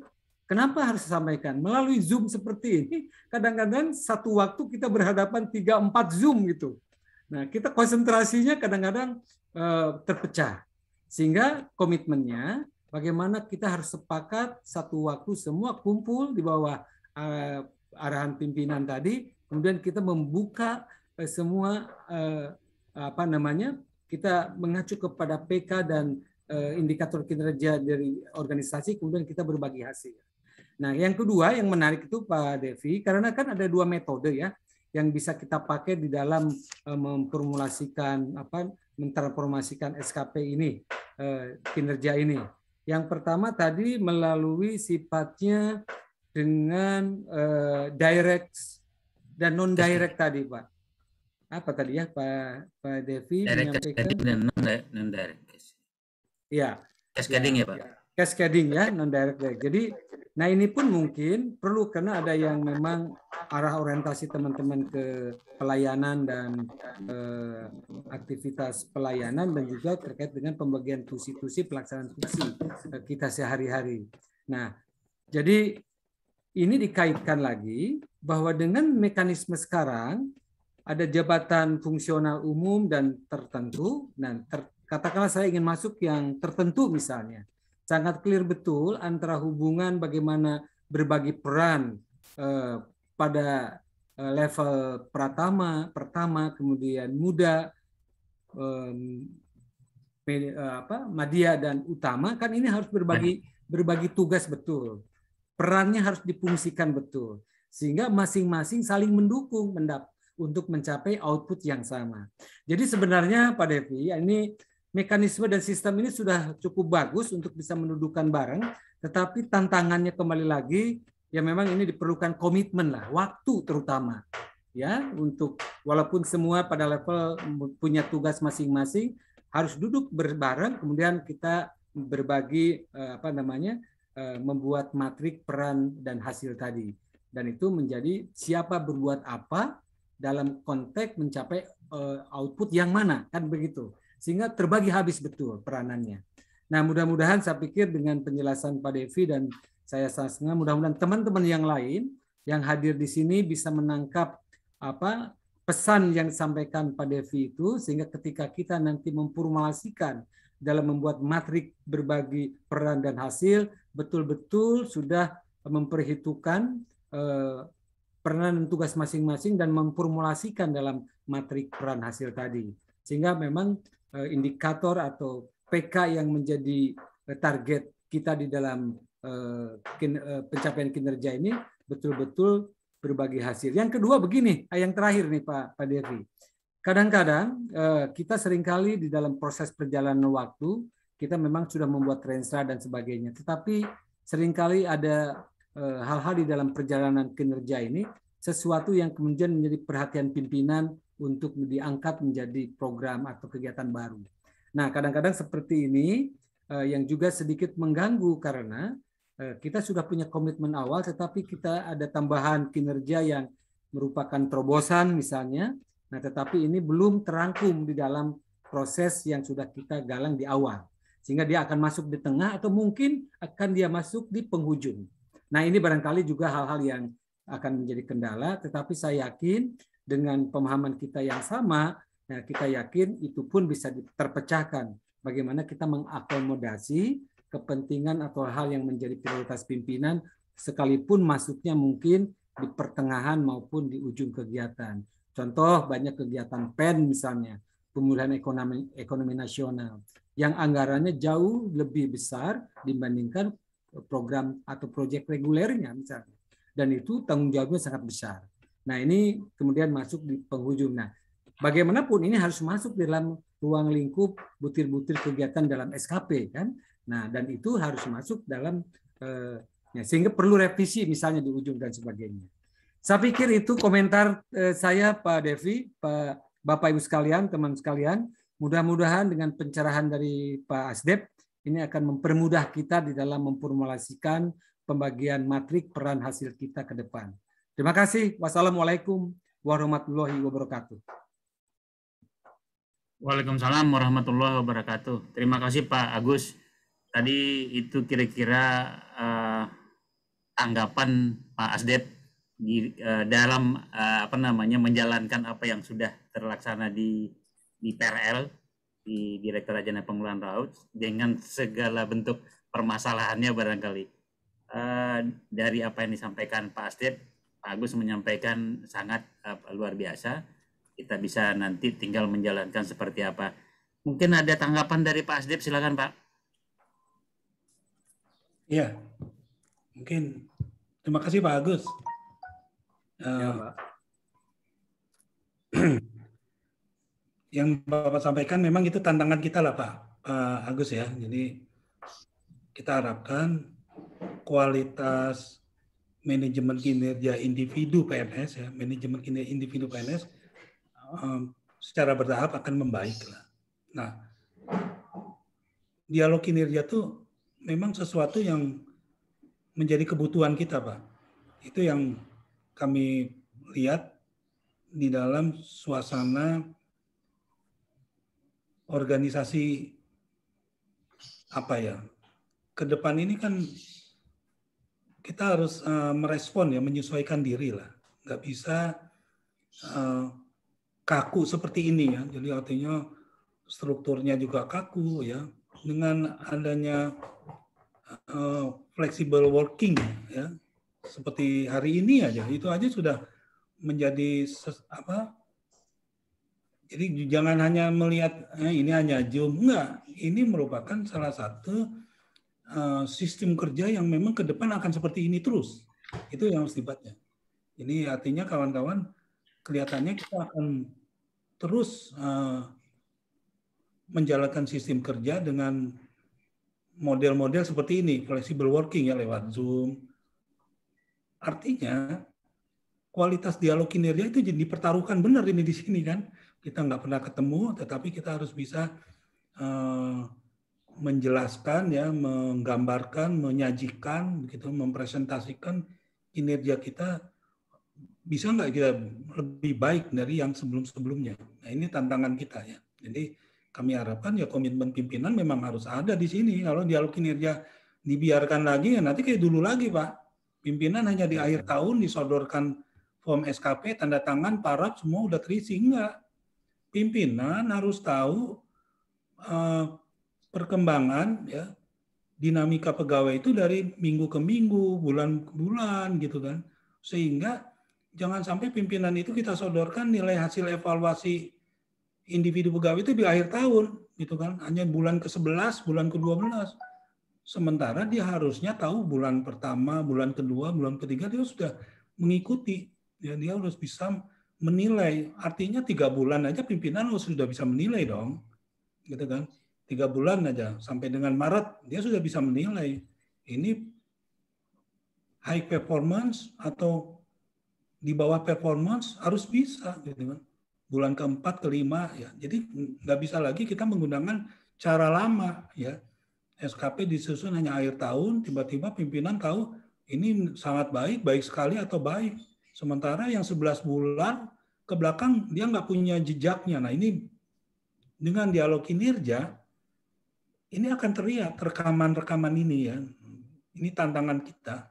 Jadi dari bulan ke bulan gitu kan. SKP itu bukan sesuatu yang statis, kaku, enggak. SKP ke depan itu dinamis, enjoy aja kita nyusun SKP kita. Ya. Ada koreksi, ada penyesuaian, kita ada apa kita kita adjustment. Jadi SKP itu benar-benar dokumen yang hidup gitu kan.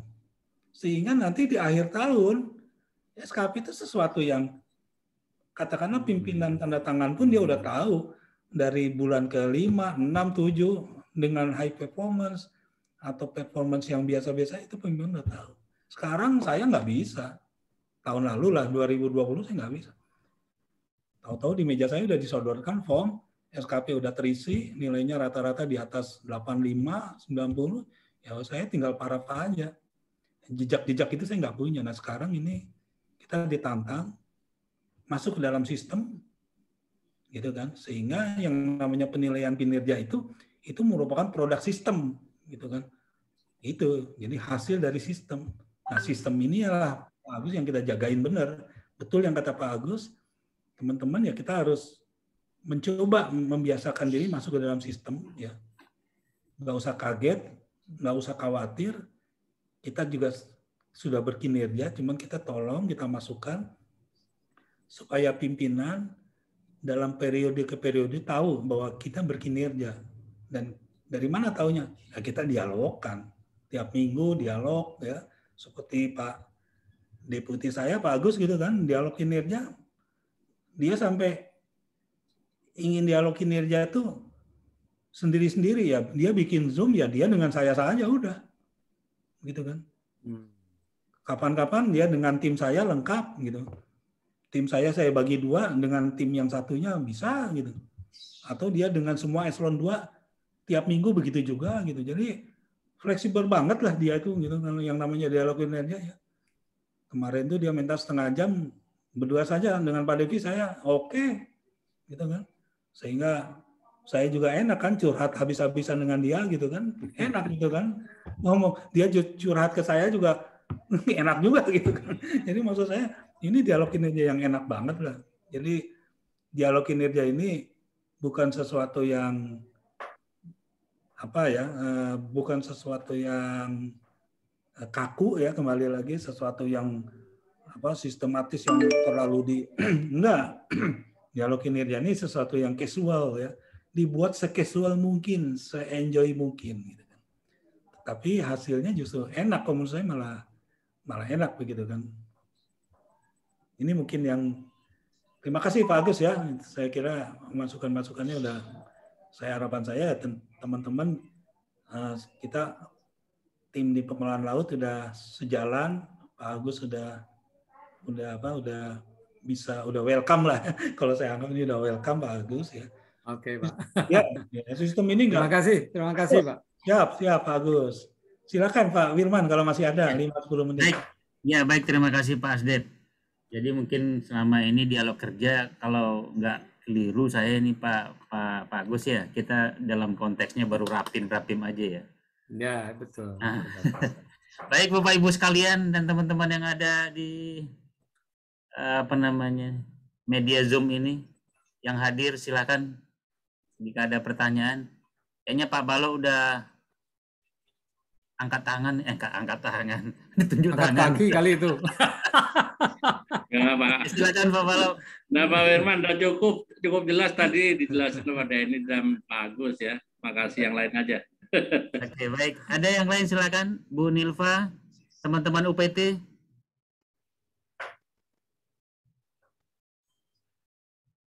tadi ada Bu Sari itu raise hand mana orangnya Nah, iya. Bu Sari dari Direktorat TRL.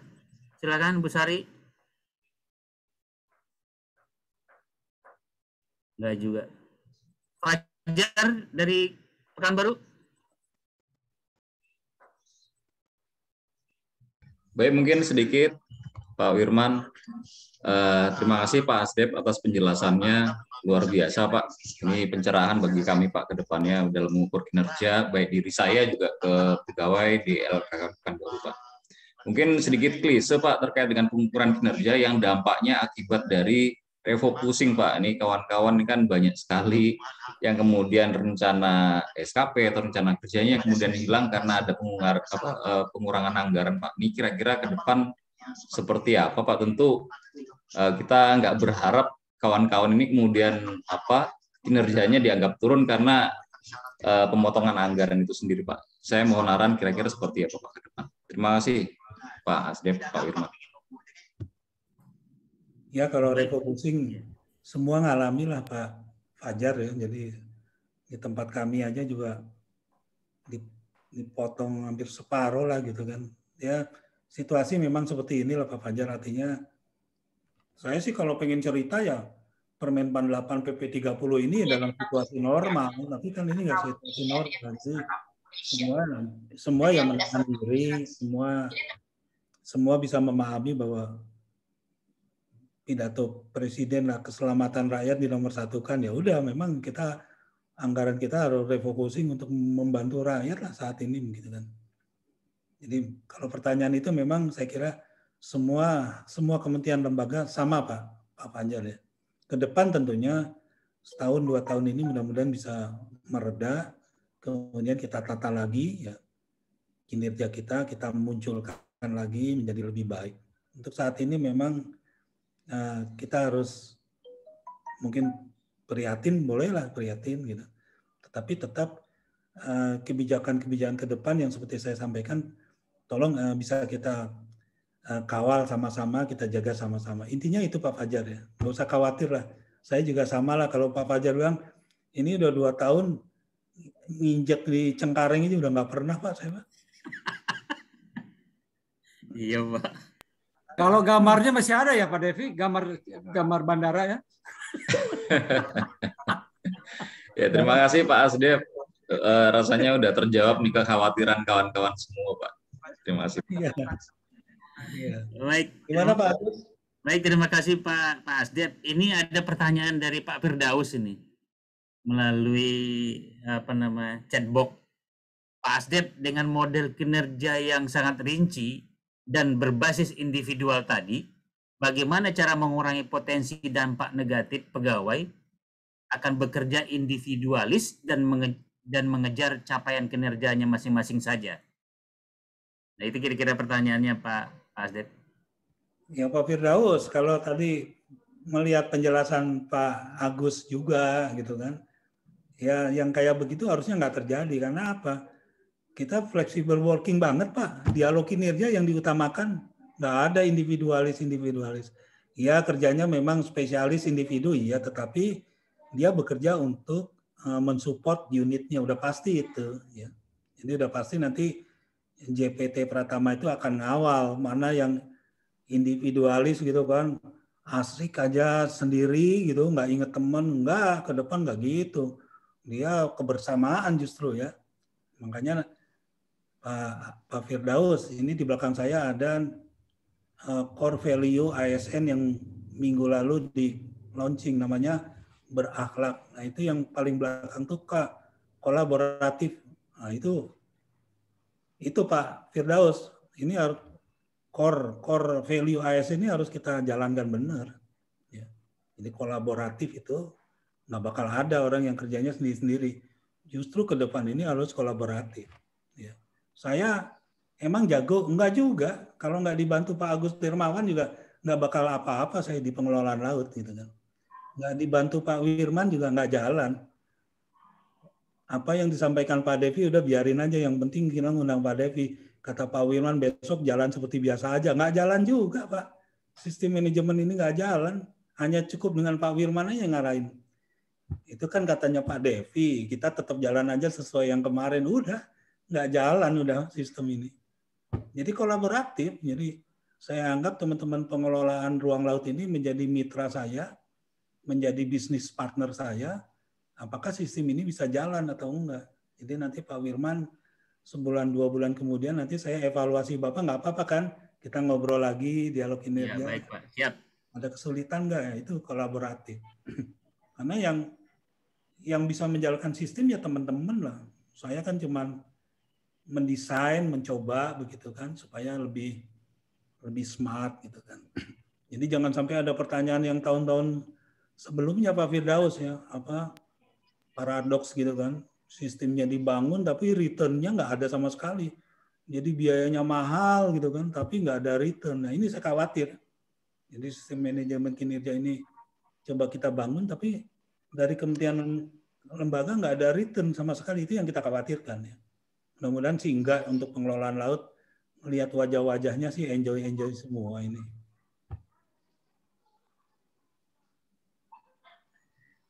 baik Terima kasih Pak Asdep. Uh, gimana Pak Firdaus? Ada yang mau ditanyakan lagi?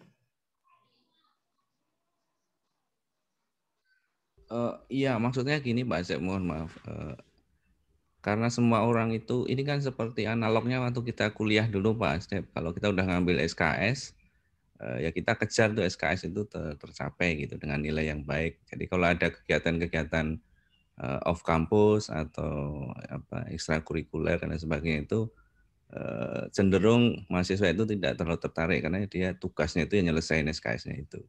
Jadi sama, jadi saya itu bayanginnya gini Pak Asdem, kalau kita udah detail, rinci, rigid dengan SKP kita, jadi kalau ada kegiatan-kegiatan atau ada penugasan-penugasan yang tidak terkait langsung dengan SKP kita itu, kita secara psikologis cenderung menghindar atau tidak tidak eh, apa full untuk untuk ke situ gitu Pak Astep. Kira-kira gimana tuh Pak Astep? Enggak, enggak bakal kejadian. Oh ini dialog kinerja akan rutin secara periodik dijagain oleh JPT. Ya. Jadi tadi kalau Mas Firdaus lihat uh, skema penyelarasan cascading itu menjaga benar bahwa semua uh, staff akan mendukung, ya, mensupport uh, hasil cascading, mendukung atasan. Saya khawatirnya Mas Firdaus itu mikirin SKP itu kayak angka kredit, butir-butir kegiatan itu aja yang dipikirin. Nah ini repot gitu kan. Iya kurang lebih seperti itu Pak Asde. Nah, enggak, enggak boleh, enggak boleh gitu. Jadi nanti JF itu yang berpikirnya adalah bagaimana cascading dihasilkan. Saya sebagai JF mendukung cascading. Kalau kalau nggak gitu ya bukan penyelarasan namanya. Saya bukan mendukung hasil cascading tapi saya mendukung butir-butir kegiatan sesuai angka kredit saya. Ya bubar lah sistem ini kalau gitu. Nggak jalan juga gitu kan. Jadi ini saya harapkan teman-teman JM memahami benar ya. Jangan nanti pokoknya saya hanya mikirin butir kegiatan Pak Devi, ah, udah berantakan kalau begini. Ya. Nah, butir kegiatan itu diperlukan, betul diperlukan, tetapi kita harus lihat dulu hasil cascading-nya. Hanya butir-butir kegiatan yang mendukung hasil cascading. Karena hasil, hasil cascading itulah yang akan uh, mencerminkan kinerja kita, kinerja individu. Jadi kita harus harus bijak juga. Jadi butir kegiatan yang nggak mendukung hasil cascading atau kinerja kita ya jangan jangan dikejar-kejar gitu kan. Nanti penilaian kinerja ini memang hasil hasil cascading ini yang menjadi fokus kita ya. Jadi fokusnya penilaian kinerja di PP 30, jangan ke mana-mana dulu, Mas Firdaus ya. Tolong dipelajari benar PP 30 yang dimaksud penilaian kinerja ini apa gitu. Jangan dicampur adukan dengan mengejar-ngejar angka kredit itu juga kita hindari ya. Saya di beberapa kementerian lembaga, nah ini repot kalau gitu nanti betul yang dikatakan Mas Firdaus, akhirnya individu asik dengan dirinya, asik dengan butir kegiatannya ini kita hindari. Ke depan kita perbaiki terus Mas Firdaus, jangan khawatir ya. Akan kita selaraskan eh, JF ini bagaimana pencapaian angka kredit dengan butir kegiatan yang selaras dengan PP 30 kita akan terus kita perbaiki Mas Firdaus. Nggak usah khawatir. Ya. Siap Pak Asdep, terima kasih. Ya, baik, terima kasih Pak Asdep. Uh, memang ini yang kami khawatir juga sebelumnya Pak Asdep, karena nanti dengan berpikir yang seperti tadi, termasuk saya gitu, jadi memikirkan diri sendiri, jadi orang-orang autis kami di sini, jadi memikirkan diri sendiri. baik, saya kira sudah uh, tidak ada lagi ya yang mau bertanya nih. Nanti kita bisa lanjut dengan Mbak uh, Budela. Ada lagi yang bertanya? Satu lagi penanya silakan. Uh, Kalau tidak ada, izin Pak. Oh iya, silakan Pak Rizka. Iya, terima kasih Pak Wirma, terima kasih Pak Asdep atas pencerahannya. Mungkin uh, yang saya ingin tanyakan Pak, tadi berdasarkan uh, penjelasan dari Bapak kan uh, akan dilakukan dialog kinerja yang terus menerus gitu ya, mungkin ya per, per, per bulan kah atau per tiga bulan kah uh, dengan pimpinannya. Berarti ada kemungkinan bahwa uh, matriks peran hasil ataupun SKP itu kita juga dimungkinkan untuk berubah ya Pak berdasarkan dari hasil uh, dialog kinerja yang terus menerus itu. Selama ini kan kita takutnya kalau SKP yang kita uh, pakai sekarang kan begitu ada perubahan misalnya ada ada refokusi segala macam langsung panik gitu Pak. Aduh berarti capaianku nggak tercapai nanti endingnya nilaiku akan turun gitu Pak. Berarti dengan proses apa dengan sistem yang baru ini justru akan uh, dimungkinkan kita merubah uh, eh, SKP kita. Mungkin seperti itu ya Pak. Ya. Mohon pencerahannya. Terima kasih Pak. Iya betul Mbak Rizka. Itu tantangan kita. Jadi SKP SKP kita yang kaku, statis, awal tahun doang atau akhir tahun nanti kita coba SKP ini sesuatu yang fleksibel banget ya. Jadi kalau smart ya, measurable benar-benar bisa diukur minggu ke minggu, bulan ke bulan gitu. Jadi kita harapkan JPT Pratama benar-benar bisa melakukan dialog yang yang rutin secara periodik untuk menjaga gitu kan sehingga SKP Mbak Rizka gitu kan mau SKP-nya dinilai 7 bulan, 8 bulan, udah ketahuan lah kinerjanya Mbak Rizka kayak apa. Nggak usah nunggu satu tahun. Nanti aja Pak, Desember kita ukur kita skor enggak. Jadi JPT itu udah tahu. Misalnya bulan kelima, keenam sudah kelihatan. Mbak Rizka ini perlu dipromosi atau perlu di apa udah ketemu nggak usah nunggu satu tahun gitu kan itu itu itu gambaran-gambaran yang ke depannya itu benar-benar apa ya dinamis banget lah gitu organisasi kita ini lebih dinamis ya. Organisasi kita nggak kaku seperti sekarang semua jadi dinamis. SKP pun menjadi dinamis. Dialog kinerja jadi dinamis, gitu kan. Ketemu sama direktur seminggu aja nggak pernah, sebulan nggak pernah. Kalau nggak dipanggil ya Pak Firman ya, jarang banget kata Pak Agus itu sibuk banget gitu. Nah ini jangan sampai terjadi. Memang harus kita ketemu dialog kinerja tuh. Ya, Pak Direktur ada di mobil buka Zoom 15 menit cukup. Bisa dialog begitu kan. Nggak usah nunggu di jadwal minggu depan. Wah minggu depan sibuk. Akhirnya nggak pernah dialog kinerja gitu kan. Nggak pernah gitu kan. Seperti Pak Deputi saya. Nggak ada waktu lagi nih gitu. udah jam 4 ya. Oke jam 4 kita kawasan semua kan. Di atas jam 4 nggak boleh pakai baju-baju kita santai gitu kan. Kalau udah jam 4 ya kita enjoy malah dengan Pak Deputi. Kita santai pakai kaos lebih lebih enak lah beli lebih apa lebih casual lah begitu nggak usah khawatir Bu Rizka ya jadi betul dikatakan Ibu SKP lebih dinamis lebih hidup ya dokumen hidup ya. Baik, terima kasih Pak Asdep. Sebelum uh, berakhir dengan Pak Asdep ini, bisa tahu Pak Asdep yang kata-kata berakhlak itu kira-kira apa maksudnya Pak Asdep? Ya nanti nanti Mbak Mbak Dela akan menjelaskan ya. Kalau kalau saya mungkin itu panjang ya, tapi kalau kalau ditanya boleh lah. Tanya Pak Wirman. Ya berakhlak itu Pak Wirman Ya, ini membuat interest kita ya untuk berakhlak atau apa. Nah, tapi nggak apa-apa. Saya kalau ditanya berakhlak aja hafal lah. Cuman masing-masing itu punya panduannya. Nanti Mbak Dela tolong jelaskan panduan-panduan yang saya sebutkan sekarang ya. Yang bernya itu berorientasi pelayanan. A-nya itu akuntabel. K-nya itu kompeten. H-nya itu harmonis L-nya loyal, A-nya adaptif, dan K kolaboratif. Jadi berorientasi pelayanan dengan akuntabel, ya. Kemudian penuh kompeten, ya. Bekerja dengan harmonis, selalu loyal, kita siap selalu adaptif menghadapi perubahan dan bekerja tidak sendiri-sendiri tetapi dengan kolaboratif. Itu berakhlak. Core value 27 Juli di launching presiden di istana.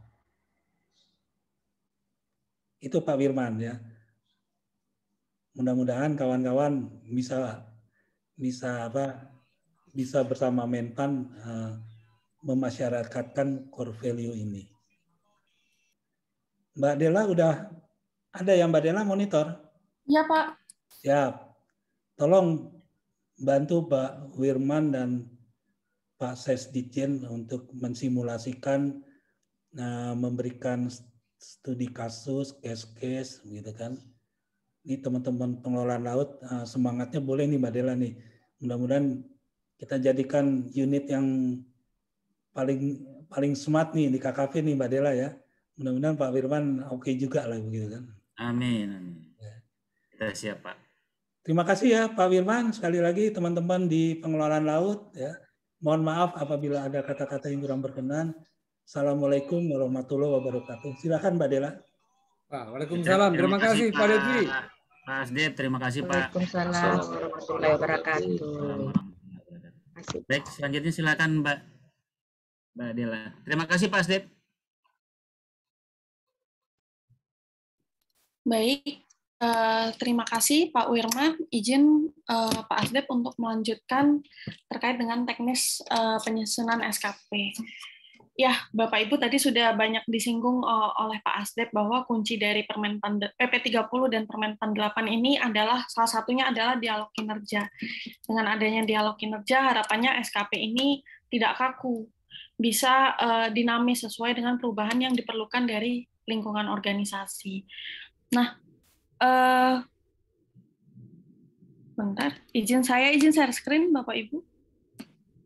Silakan. Jadi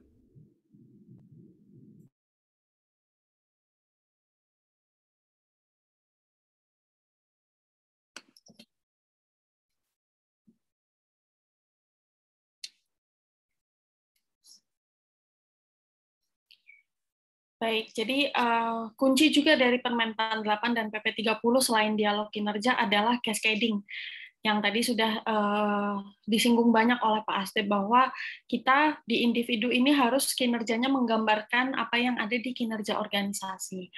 Nah, uh, itu adalah menjadi dasar-dasar penyusunan SKP kita ke depan Bapak Ibu. Dasar-dasar penyusunan SKP itu sebenarnya diaturnya di PP 30 tahun 2019 di pasal-pasal awal di bab penyusunan SKP. Di sini kalau Bapak Ibu membaca eh, untuk SKP JPT disusunnya berdasarkan perjanjian kinerja unit yang dipimpin. Nah, ini mungkin menjadi concern juga bagi Bapak Ibu JPT ke depan PK ini akan menjadi SKP secara otomatis. Tapi mungkin tadi sudah disinggung Pak Azeb juga tidak hanya PK Bapak Ibu. Nanti ada yang namanya uh, renaksi atau inisiatif strategis. Nah, renaksi atau inisiatif strategis itu dalam dalam rangka mendukung pencapaian PK Nah, itu adalah uh, dasar dari SKP JPT.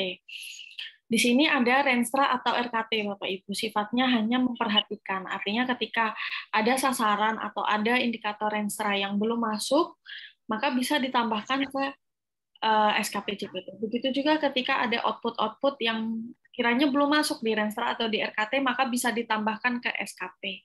Seperti itu. Nah, SKP ini nanti akan langsung diselaraskan ke pegawai di bawahnya melalui JA eh, melalui dialog kinerja yaitu kepada pejabat administrasi dan pejabat fungsional. Jadi eh, di sini untuk SKP pejabat administrasi disusunnya berdasarkan SKP atasannya, bukan berdasarkan perjanjian kinerja yang bersangkutan. Jadi kalau dulu kita mengenal perjanjian kinerja sampai ke level individu, mungkin sekarang kita uh, sedikit bergeser. Jadi untuk pejabat administrasi ini SKP-nya disusunnya berdasarkan SKP atasan langsungnya, yang mana tadi diperolehnya dari PK. Seperti itu. Nah, uh, untuk OTK atau uraian jabatan atau uraian tugas fungsi, uh, banyak mungkin istilahnya ya itu hanya memperhatikan sifatnya Bapak Ibu. Artinya eh, OTK, urjab, uraian tugas fungsi ini menjadi kacamata kita dalam membedakan apakah peran atau cascading dari atasan langsung itu masuk ke kinerja utama ataukah ke kinerja tambahan.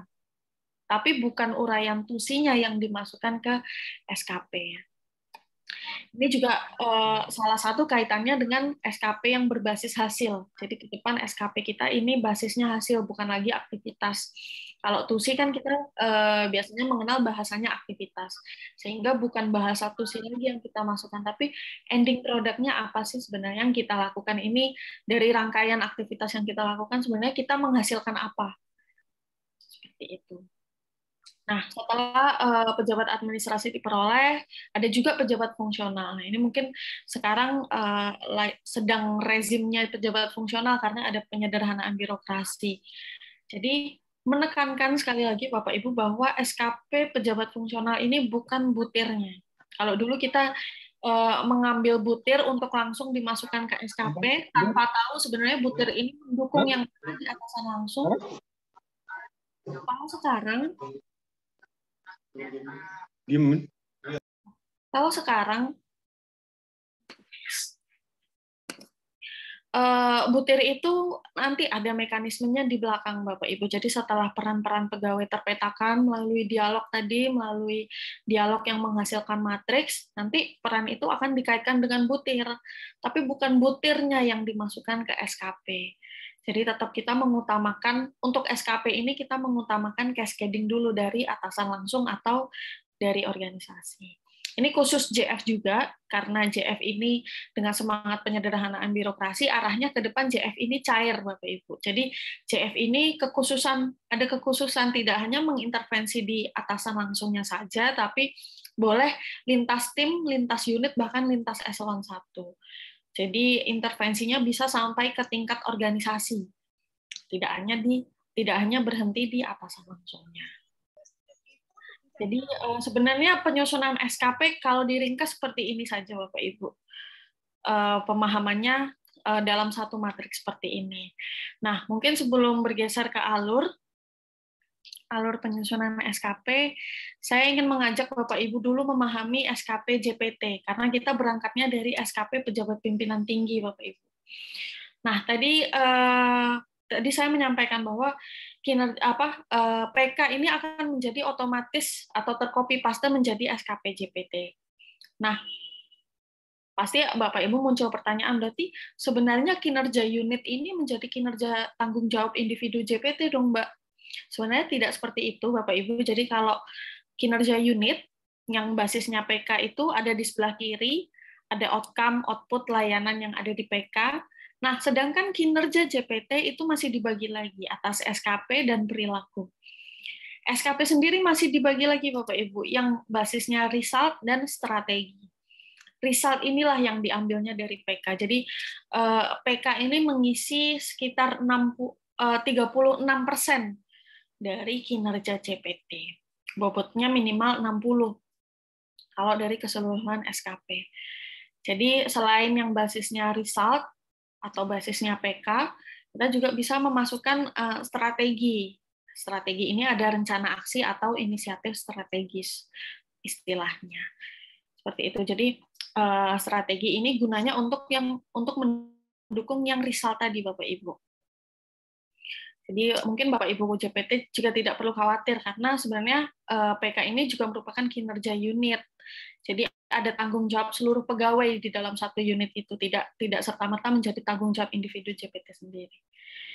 Nah, dari SKP JPT ini kita akan eh, bergerak Bapak Ibu ke penyusunan SKP JA dan JF.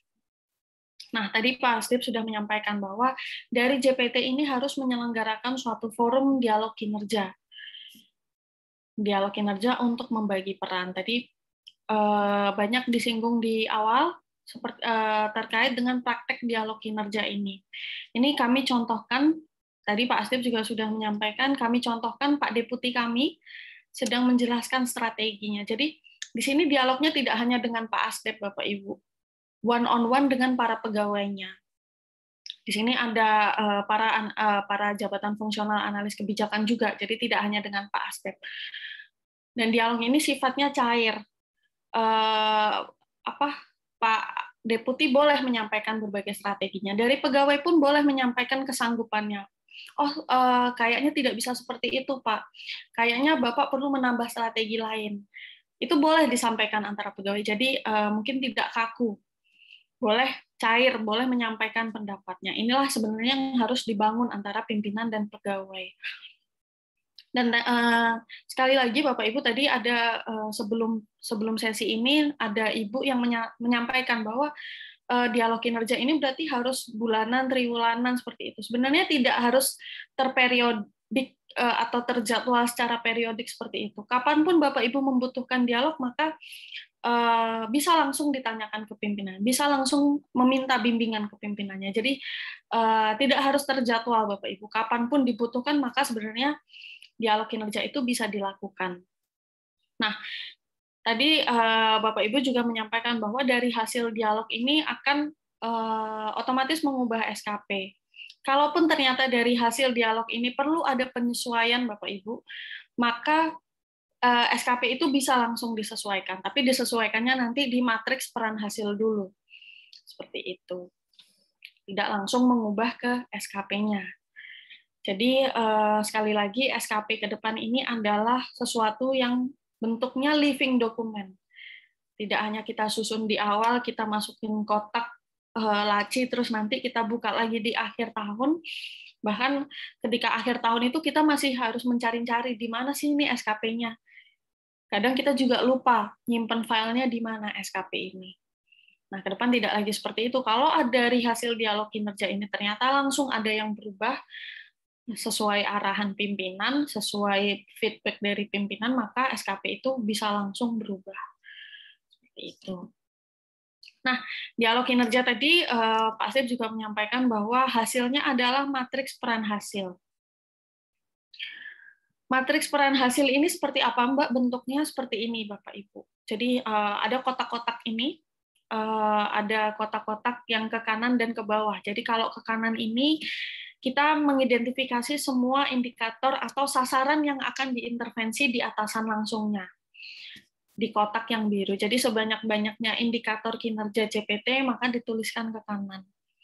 Nah, Eh, langkah selanjutnya adalah kita mengidentifikasi pegawai di bawah CPT. Nah, ini mungkin saya perlu konfirmasi dengan KKP apakah di bawah CPT Pratama khususnya ini dibentuk tim kerja atau langsung individu JF.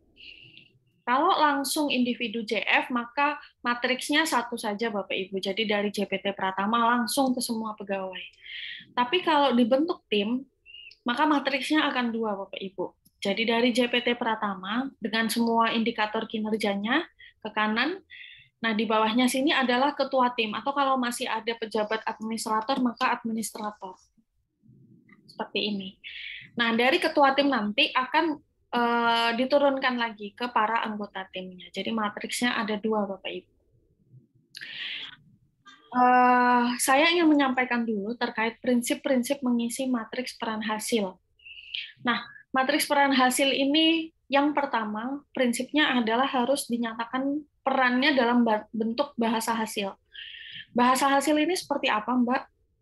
Jadi bahasa hasil ini kalau boleh disimpulkan bahasa-bahasa yang di dalamnya ada ekspektasi pimpinan, Bapak Ibu. Jadi misalnya Bapak Ibu ditugaskan untuk menyusun laporan atau dokumen misalnya, suatu dokumen. Nah, tidak yang kita tuliskan bukan sekedar menyusun laporan atau menyusun uh, dokumen atau mungkin sekarang tersusunnya laporan, tersusunnya dokumen tidak seperti itu Bapak Ibu, tapi harus menggambarkan ekspektasi pimpinan. Dokumen seperti apa sih yang diharapkan pimpinan? Laporan seperti apa yang diharapkan pimpinan? Mungkin ada ekspektasi waktu juga. Ah, kapan sih eh, dokumen atau laporan itu harus diselesaikan? Jadi pernyataannya misalnya laporan eh, hasil evaluasi yang akurat, komprehensif, misalnya akurat, komprehensif ini dari sisi kualitas dan diselesaikan misalnya tidak lebih dari uh, minggu ketiga bulan Maret nih. Itu ekspektasi dari sisi waktu. Jadi ke depan yang kita tuliskan ini uh, tidak hanya dokumennya saja tapi ada ekspektasi uh, dari pimpinan. Itu yang pertama Bapak Ibu terkait prinsip mengisi matriks peran hasil atau prinsip membagi peran perannya ini harus kelihatan ending produknya, bukan sekedar aktivitasnya. Bapak Ibu dalam aktivitasnya, dalam misalnya menyusun dokumen atau laporan itu Bapak Ibu ada koordinasi, ada fasilitasi, ada sinkronisasi. Yang banyak sisinya itu tidak lagi kita tuliskan Bapak Ibu. Itu eh, menjadi kemerdekaan Bapak Ibu dalam beraktivitas atau dalam memilih kegiatan untuk eh, menyelesaikan suatu produk. Jadi kegiatannya, aktivitasnya itu diserahkan ke Bapak Ibu. Yang penting hasilnya ada. Hasilnya sesuai ekspektasi pimpinan. Nah, prinsip yang kedua adalah seorang JPT atau seorang pimpinan, ketua tim ini harus membagi peran yang um, adil atau rata ke semua pegawai. Artinya tidak ada pegawai yang tidak memiliki peran dalam suatu uh, pencapaian target kinerja.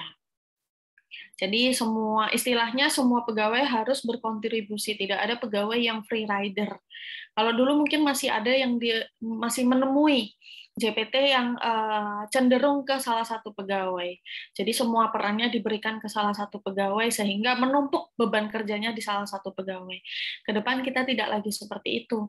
Kita berikan peran ke semua pegawai. Kita bagi habis ke semua pegawai. Jangan sampai ada satu pegawai yang terlewat, tidak ada perannya. Mungkin nanti para pimpinan atau para ketua tim akan menanyakan. Tapi saya lebih cenderung ke pegawai yang ini, Mbak, karena uh, biasanya kerjanya cepat dan nggak hilang-hilangan. Kalau pegawai yang itu biasanya suka hilang. Nah, uh, ke depan karena ini adalah ekspektasi di awal, kita tidak memberikan judgement kepada pegawai sejak awal, sejak di awal menyusun SKP. Jadi kita berikan peran, masalah pegawai itu tidak perform atau tidak berprogres, nanti ada mekanismenya sendiri yang tadi namanya dialog kinerja untuk ongoing feedback, umpan balik berkala. Nah, apabila setelah eh, setelah diberikan feedback eh, di tahun berjalan ternyata pegawai itu tetap tidak berprogres, maka eh, adil bagi pegawai itu untuk dinilai cukup atau bahkan kurang kinerjanya. Artinya kinerjanya bisa dinilai di bawah ekspektasi pimpinan. Nah, barulah peran dari pegawai itu tadi bisa dilimpahkan ke pegawai yang lain. Tapi bagi pegawai yang lain ini adil karena dia bisa dinilai sangat baik karena mengerjakan apa yang melebihi perannya di awal. Jadi karena mendapatkan pelimpahan peran otomatis yang dikerjakan melebihi targetnya. Jadi pegawai yang mendapatkan pelimpahan peran itu boleh atau adil diberikan sangat baik atau di atas ekspektasi. Jadi adil juga bagi pegawai yang uh, beban kerjanya banyak ini tidak uh, tidak sama saja dengan pegawai yang biasa-biasa saja mungkin ya. Jadi ada uh, apresiasi bagi pegawai yang mungkin beban kerjanya lebih dibandingkan pegawai yang lain.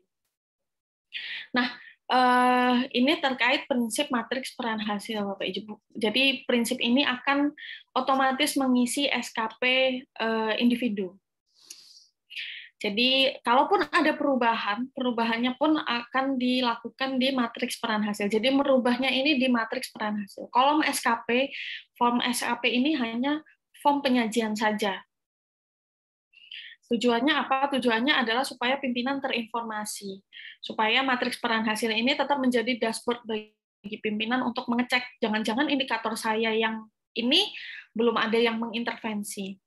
Dan kalaupun ada uh, pencapaian target yang bermasalah, misalnya di pertengahan tahun, pimpinan clear ini, tanyanya ke siapa? Siapa sih pegawai yang ternyata bikin macet kinerjanya ini? Jadi clear masing-masing uh, peran pegawai terpetakan dengan jelas. Jadi uh, ini adalah matriks peran hasil, otomatis mengisi SKP Bapak Ibu. Nah, dalam membagi peran hasil ini kita tadi ada dua metode Bapak Ibu. Yang pertama adalah metode direct cascading dan non-direct cascading. Nah, direct cascading dan non-direct cascading ini uh, definisinya apa, Mbak? Ya, jadi direct cascading dan non-direct cascading ini pembagian uh, sasaran atau indikator atasan. Kalau direct itu dibaginya berdasarkan aspek atau tahapan, kedua berdasarkan wilayah, ketiga beban target kuantitatif. Kalau non-direct ini bentuknya uh, indikator atau sasaran atasan dibaginya berdasarkan strategi pencapaian dalam bentuk layanan atau produk. Mungkin kita bergeser ke contohnya saja Bapak Ibu, jadi uh, supaya pemahamannya bisa uh, komprehensif. Ini mungkin contohnya tidak uh, kurang relevan di KKP, tapi uh, yang ingin kita tangkap adalah pemahamannya dulu ya Bapak Ibu ya. Jadi ini adalah contoh di Kepala Dinas Kebersihan indeks ke, uh, ada sama-sama indeks kebersihan kota, indeks kebersihan kota A, uh, dan yang satu ke, uh, indeks kebersihan kota B, sama-sama indeks kebersihan. Ketika dibagi secara direct di kota A, maka ini dibaginya berdasarkan wilayah Bapak Ibu. Jadi dibagi berdasarkan kecamatannya. Ada satu, dua, tiga, dan empat.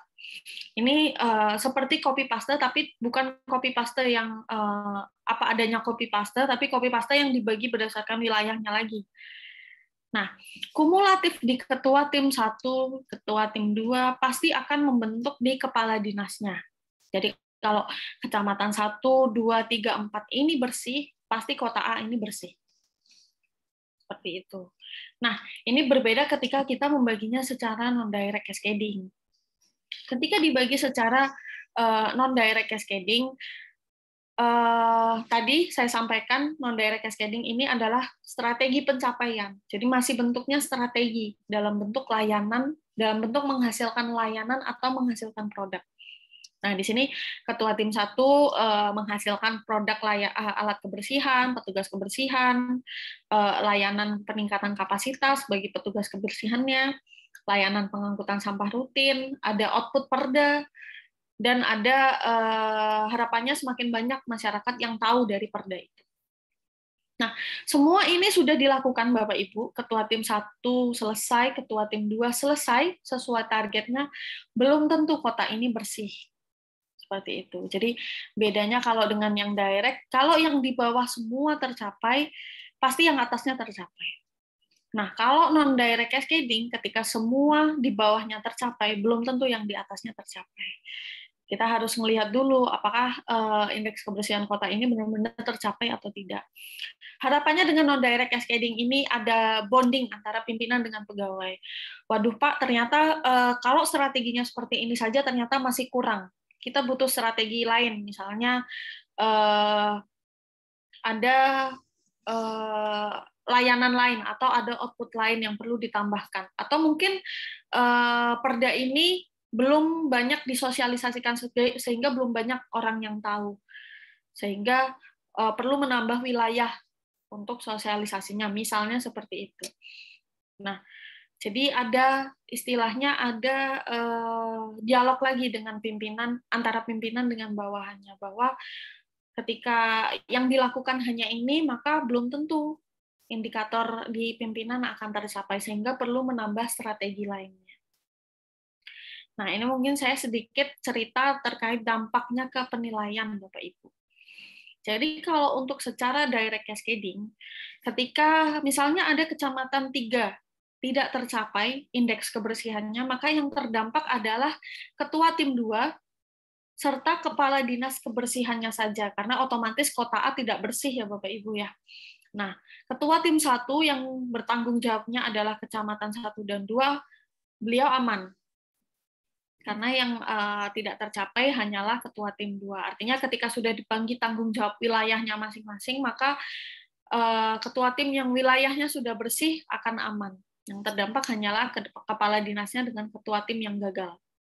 Nah, beda dengan non-direct scanning Bapak Ibu. Semua tim ini sudah dilakukan, ketua tim ini baru mendapatkan 80 poin. 20 poinnya tergantung kota kota B ini bersih atau tidak.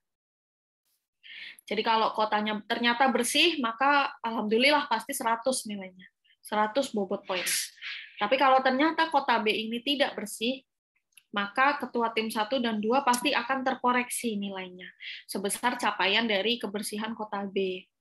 Seperti itu. Jadi dengan uh, mekanisme seperti ini uh, direct cascading dan non direct cascading ketika ada kinerja organisasi yang tidak tercapai saya pastikan pasti bawahannya tidak akan baik atau sangat baik semua pasti akan pasti akan ada yang terkoreksi jadi kalau dulu kinerja organisasinya mungkin uh, kurang bagus tapi SKP semua pegawainya baik bahkan ada yang sangat baik ke depan tidak lagi seperti itu. Ketika capaian organisasinya tidak Eh, kinerja organisasinya tidak tercapai, maka akan berdampak ke pegawainya.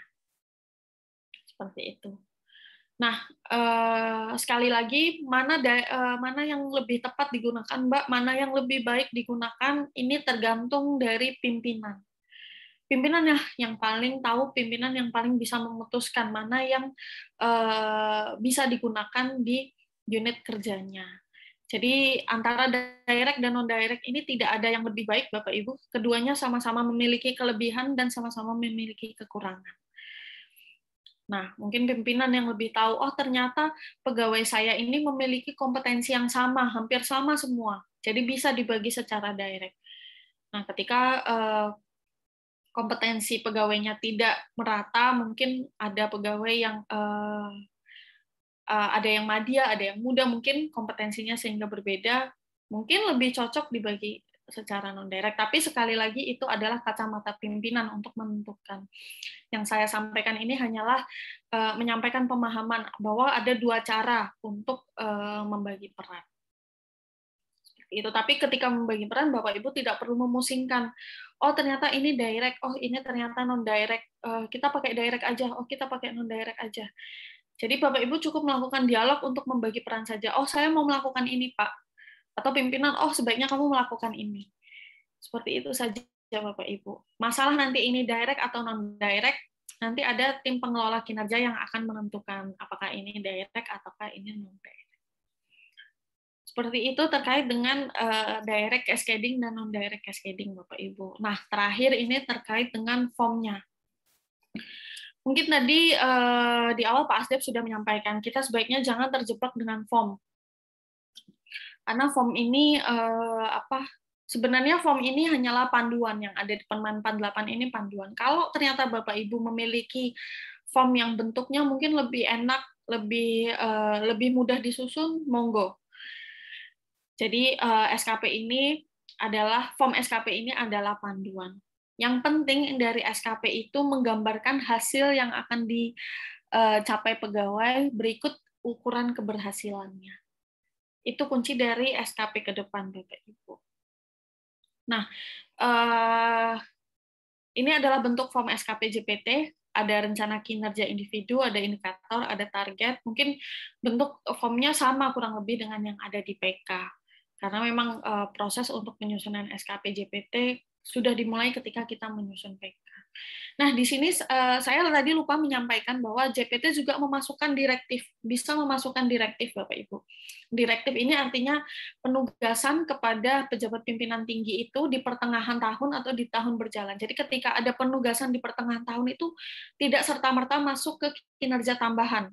Nah, kita perlu lihat dulu apakah itu masih sesuai tusinya atau tidak.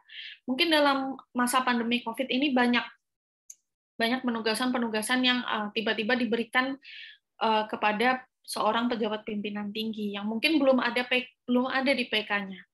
Jadi bisa langsung dimasukkan ke SKP tanpa harus merubah PK dulu. Seperti itu. Nah, ini untuk JPT uh, ini ada manual indikatornya. Manual indikator ini disusun untuk setiap IKI JPT Eh, tujuannya adalah untuk memperjelas atau menyamakan persepsi. Biasanya indikator uh, kinerja individu di level JPT kita masih belum clear. Antar pegawai mungkin masih beda pemahamannya. Oh, maksudnya seperti ini. Oh, maksudnya seperti ini. Jadi, fungsi manual indikator ini memberikan batasan definisi operasional dari uh, indikator kinerja seorang JPT. Nanti dituliskan berikut definisi, formula, Eh, sumber datanya dari mana. Nah, dituliskannya di manual IKU. Kalau sudah PK-nya mungkin dilengkapi dengan metadata atau manual manual PK mungkin itu boleh dipindahkan ke sini saja. Nah, ini terkait eh, manual indikator. Selanjutnya ini bentuk form SKPJA ada enam kolom yang tadi kolom 2 dan 3 ini sama Bapak Ibu Eh, penyajian saja dari matriks peran hasil. Eh, jadi kita tidak menginputnya langsung ke SKP, tapi menginputnya di matriks peran hasil. Eh, kolom SKP JPT, eh, JA dan JF ini sama Bapak Ibu, ada enam kolom. Ada rencana kinerja atasan langsung yang diintervensi, rencana kinerja, aspek, indikator, dan target. Nah, indikator dan target ini ada empat aspeknya. Ada kuantitas, kualitas, waktu, dan biaya. Tadi saya mencontohkan di awal, misalnya seorang pegawai ditugaskan untuk menghasilkan dokumen yang akurat eh, dan tepat waktu, misalnya. Nah, di sini sebenarnya dari kalimat ekspektasi tadi sudah tergambar indikatornya apa sih Nah, kita tinggal uh, menanyakan kepada pimpinan indikator akurat ini apa, Bapak? Misalnya, uh, frekuensi pengembalian dokumen lapor, dokumen atau laporan karena kesalahan penulisan atau typo. Jadi kalau banyak typonya sehingga harus bolak-balik, maka fail itu seorang pegawai. Nah, itu dari sisi kualitas misalnya Bapak Ibu. Nah, dari sisi waktu misalnya, tadi ada ekspektasi tepat waktu. Misalnya dari sisi waktu eh, ada ketepatan waktu penyampaian dokumen atau laporan kepada pimpinan. Targetnya misalnya tidak melebihi minggu ketiga bulan Maret. Jadi bahasa-bahasa targetnya juga eh, sudah berbeda dengan SKP yang dulu. Kalau dulu kita menuliskannya apa pun kegiatannya target waktunya 12 bulan. Seperti itu mau menyusun uh, apa laporan apa pun atau dokumen apa pun, menyiapkan bahan pun bahkan waktunya 12 bulan. Nah, ini pelan-pelan kita perbaiki ke depan. Kita sesuaikan waktunya saja sesuai ekspektasi pimpinan kapan itu harus diselesaikan. Atau mungkin berapa lama waktu yang diberikan oleh pimpinan untuk menyelesaikan pekerjaan tersebut. Jadi ini uh, pentingnya Bapak Ibu suatu rencana kinerja tidak hanya diukur dari kuantitasnya saja, tapi harus dilihat juga kualitasnya bagaimana, waktunya bagaimana. Bisa saja Bapak Ibu secara dokumen ada, tetapi secara waktu terlambat misalnya, terlambat tiga hari. Padahal rapatnya hari Jumat, tapi Bapak Ibu menyampaikannya baru di hari Senin misalnya.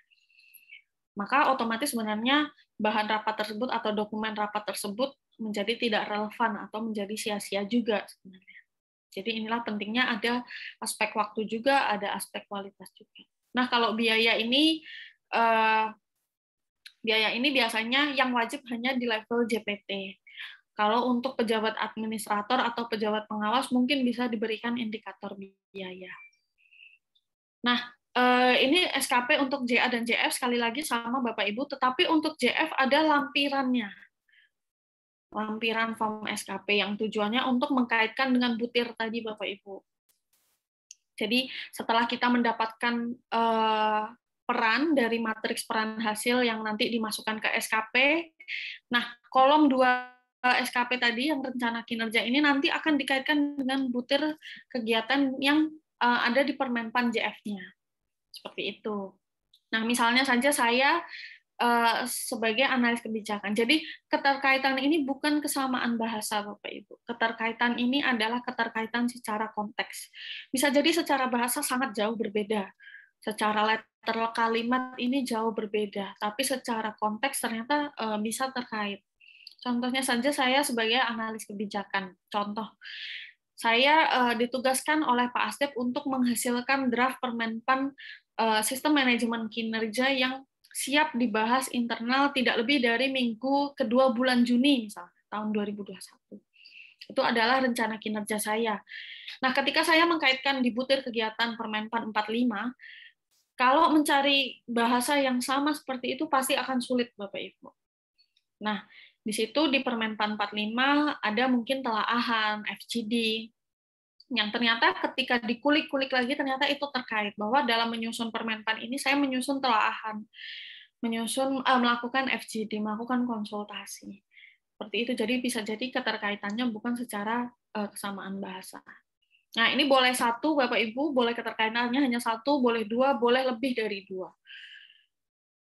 Nah, tujuannya apa? E, mengkaitkan butir ini. Jadi butir ini disusun oleh Bapak Ibu JF yang bersangkutan. Nanti setelah Bapak Ibu susun, form ini akan diverifikasi oleh tim penilai angka kredit untuk melihat yang Bapak Ibu cocokkan tadi ternyata benar-benar cocok atau tidak. Kalau menurut TPAK ternyata tidak cocok atau tidak terkait, maka eh, ada dua yang dilakukan TPAK itu. Yang pertama adalah merekomendasikan kepada atasan langsungnya untuk memberikan peran yang lebih sesuai.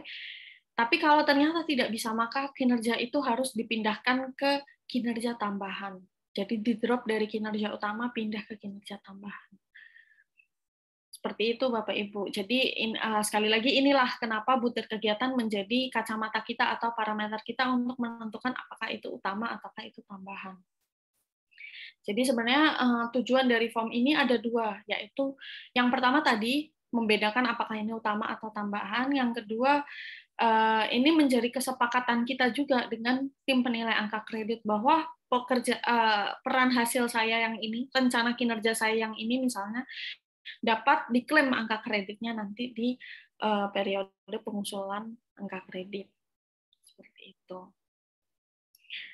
Uh, seperti ini Bapak Ibu teknis penyusunan SKP kita ke depan semoga saja tidak rumit seperti yang Bapak Ibu bayangkan sekali lagi form ini uh, tidak harus seperti ini bentuknya dan kita tidak boleh terjebak dari formnya yang penting kita sudah memulai dialog kinerja, membagi peran pimpinan dengan bawahan. Sebenarnya sudah uh, dilakukan sebenarnya yang namanya penyusunan SKP. Uh, eh, mungkin cukup dari saya, uh, Pak Wirman. Saya kembalikan ke Pak Wirman selaku moderator. Baik, terima kasih Mbak Dela. Kita kembali ke Bapak Ibu sekalian ini sudah dijelaskan begitu baik oleh Mbak Dela. Barangkali ada yang ingin ditanyakan oleh Bapak Ibu sekalian. Silakan.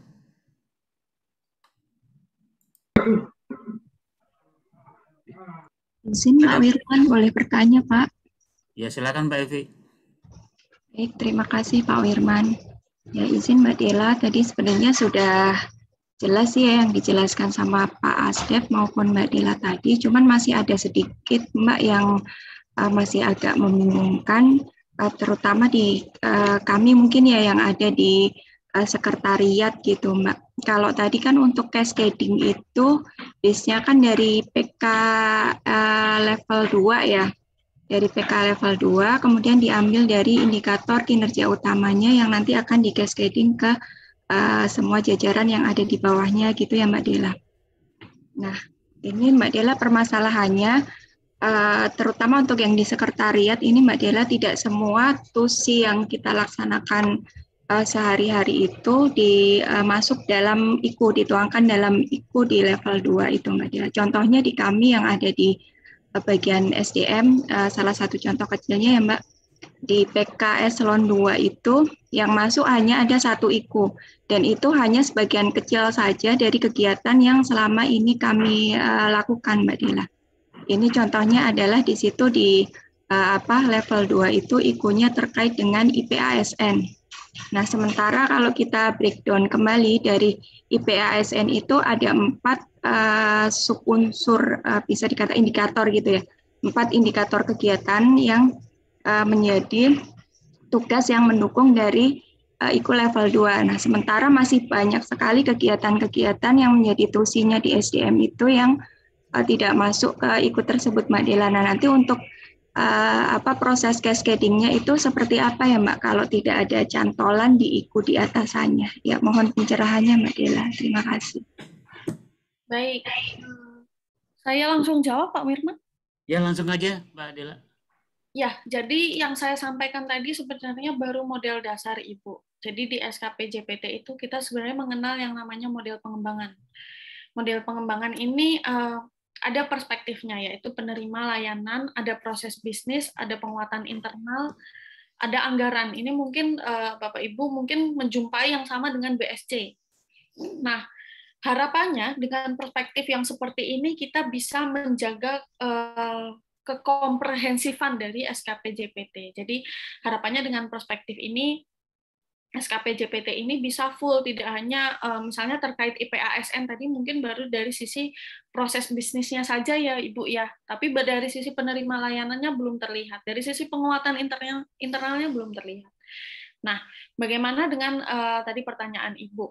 Bagaimana ketika tidak ada cantolannya Mbak di uh, SKP JPT-nya? Nah, tadi saya mengingatkan kembali Bapak Ibu bahwa SKP JPT ini tidak hanya yang basisnya PK. Artinya eh, bisa ditambahkan yang namanya direktif. Direktif ini istilahnya untuk menangkap eh, indikator-indikator yang sebenarnya dikerjakan JPT tapi belum eh, terdokumentasi di PK-nya seperti itu. Jadi bisa ditambahkan dulu di SKP JPT-nya untuk menjadi cantolan bagi pegawai di bawahnya. Nanti masuk kategorinya direktif Ibu eh, bobotnya sama dengan PK. Seperti itu Bu Evi ya. Oh ya, siap Mbak, udah cukup jelas. Kemudian lanjut lagi ya. Kedua ya Pak Wiron mohon izin ya, sekalian. Ya, ya. nah tadi untuk yang di matrik uh, apa peran hasil kerja itu Mbak kan ada tiga tiga bagian tadi ya intermediate outcome, kemudian produk dan layanan itu kalau kemarin saya lihat dari contoh yang sudah uh, diberikan dari Kemenpan itu bisa dari ketiga-tiganya diisi atau mungkin bisa lebih dari tiga kolom juga ya Mbak ya. Uh, mungkin minta penjelasannya Mbak itu untuk prosesnya seperti apa? Apakah memang sesuai kebutuhan saja yang diisi di matriks peran hasil kerja ini uh, atau seperti apa? Kemudian yang kedua Mbak ini uh, kami uh, terus terang kesulitan dalam menuangkan apa untuk yang di ketua tim kelompoknya itu ya Mbak. Apakah itu mungkin lebih gampangnya gitu ya yang di ketua tim kelompok apakah bisa mengambil kegiatan-kegiatan yang sudah tertuang di dalam RKAKL-nya itu yang udah jelas-jelas ada anggarannya Mbak. Kemudian nanti ada lagi kegiatan yang memang menjadi tugas rutin dari masing-masing uh, unit kerja terkecilnya. Seperti itu, Mbak. Terima kasih, Mbak. Baik, uh, yang pertama dulu ya Bu Evi. Apakah maksudnya di sini tidak hanya terbatas tiga IKI seperti itu, Bu Evi? Iya, iya betul Mbak. Apakah ini tidak hanya terbatas tiga ini dan boleh juga misalnya hanya ada satu kolom saja, misalnya hanya melaksanakan yang di intermediate saja atau hanya di produknya saja gitu ya Mbak? Baik, sebenarnya maksud dari uh, matriks ini seperti ini, Ibu. Jadi intermediate uh, outcome atau produk atau layanan ini adalah peran hasil dari masing-masing pegawai yang tadi dibaginya direct atau non direct tadi, Ibu. Jadi kalau non direct kan menghasilkannya produk atau layanan. Hmm. Kalau direct cascading berarti intermediate outcome. Jadi uh, intermediate uh, intermediate outcome produk atau layanan ini fungsinya untuk mengisi peran hasil atau rencana kinerja di bawah sini. Nah, eh, bagaimana ketika misalnya tidak tiga IKI-nya? Boleh Ibu, misalnya di IKI JPT itu ada lima, maka di sini nanti akan memanjang ke lima. Mungkin di sini karena cukup layarnya hanya tiga, hanya tiga yang dituliskan. Tapi kalau ternyata IKI-nya ada lima atau bahkan sepuluh, maka akan memanjang sepuluh ke kanan. Nah, nanti baru uh, kita petakan masing-masing IKI itu breakdown ke pegawainya seperti seperti apa. Misalnya tadi terkait dengan IPASN ya Bu ya, saya contohkan. Hmm IPASN misalnya tadi IKI-nya hanya satu di sini, IPASN. Nah, ketika di breakdown ke bawah, misalnya secara direct cascading, IPASN ini kan ada empat uh, kualifikasi kompetensi, kinerja, dan disiplin. Maka nanti ketua tim satu misalnya dapat uh, aspek kinerja pemenuhan nilai IPASN dari aspek kinerja dan disiplin misalnya. Nanti ketua tim dua dapat dari uh, sisi kualifikasi dan kompetensi itu itu namanya intermediate outcome seperti itu ibu. Nah beda lagi ketika kita membaginya non direct. Ketika IPASN ini dibaginya non direct misalnya supaya terpenuhinya nilai kompetensi ASN, nilai kompetensi IPASN maka harus pertama harus ada outputnya dulu misalnya harus ada SKJ seluruh pegawai Nah, itu adalah contoh produk. Jadi nanti peran hasilnya adalah uh, seluruh pegawai telah ditetapkan SKJ-nya. Itu jadi produk uh, ketua tim satu misalnya. Nanti ketua tim dua misalnya seluruh pegawai telah menyusun SKP tidak lebih dari bulan Januari. Itu untuk uh, nilai kinerja, untuk mendongkrak nilai kinerja. Jadi uh, intermediate outcome produk layanan ini merupakan hasil atau kinerja dari pegawainya. Terjawab Ibu yang pertama? Iya, siap Mbak Dela, udah paham Mbak. Baik, tadi yang kedua Ibu terkait dengan uh, kinerja ketua tim. Apakah bisa diambil dari DIPA? Seperti itu ya Bu ya? Iya, kegiatan-kegiatan yang sudah tertuang di DIPA Mbak. Jadi sebenarnya gini, Bu, karena ini adalah kuncinya sebenarnya ada di pimpinannya. Yang perlu kita, yang sebenarnya ditanyai harusnya pimpinannya. Apakah cukup dengan output yang ada di DIPA atau sebenarnya ada strategi lain? karena kebanyakan yang kita lakukan malah justru tidak ada anggarannya biasanya seperti itu ya bu ya Mbak. dari itu uh, perlu ditanya lagi pimpinannya apakah cukup yang ada di DIPA ini yang dituliskan atau sebenarnya ada strategi lain kalau ternyata di situ pimpinannya hanya menuliskan yang ada di DIPA misalnya ada empat uh, RO atau uh, eh, KRO ya RO yang ada di DIPA, ada empat output di DIPA, tapi ternyata sebenarnya membutuhkan strategi lain.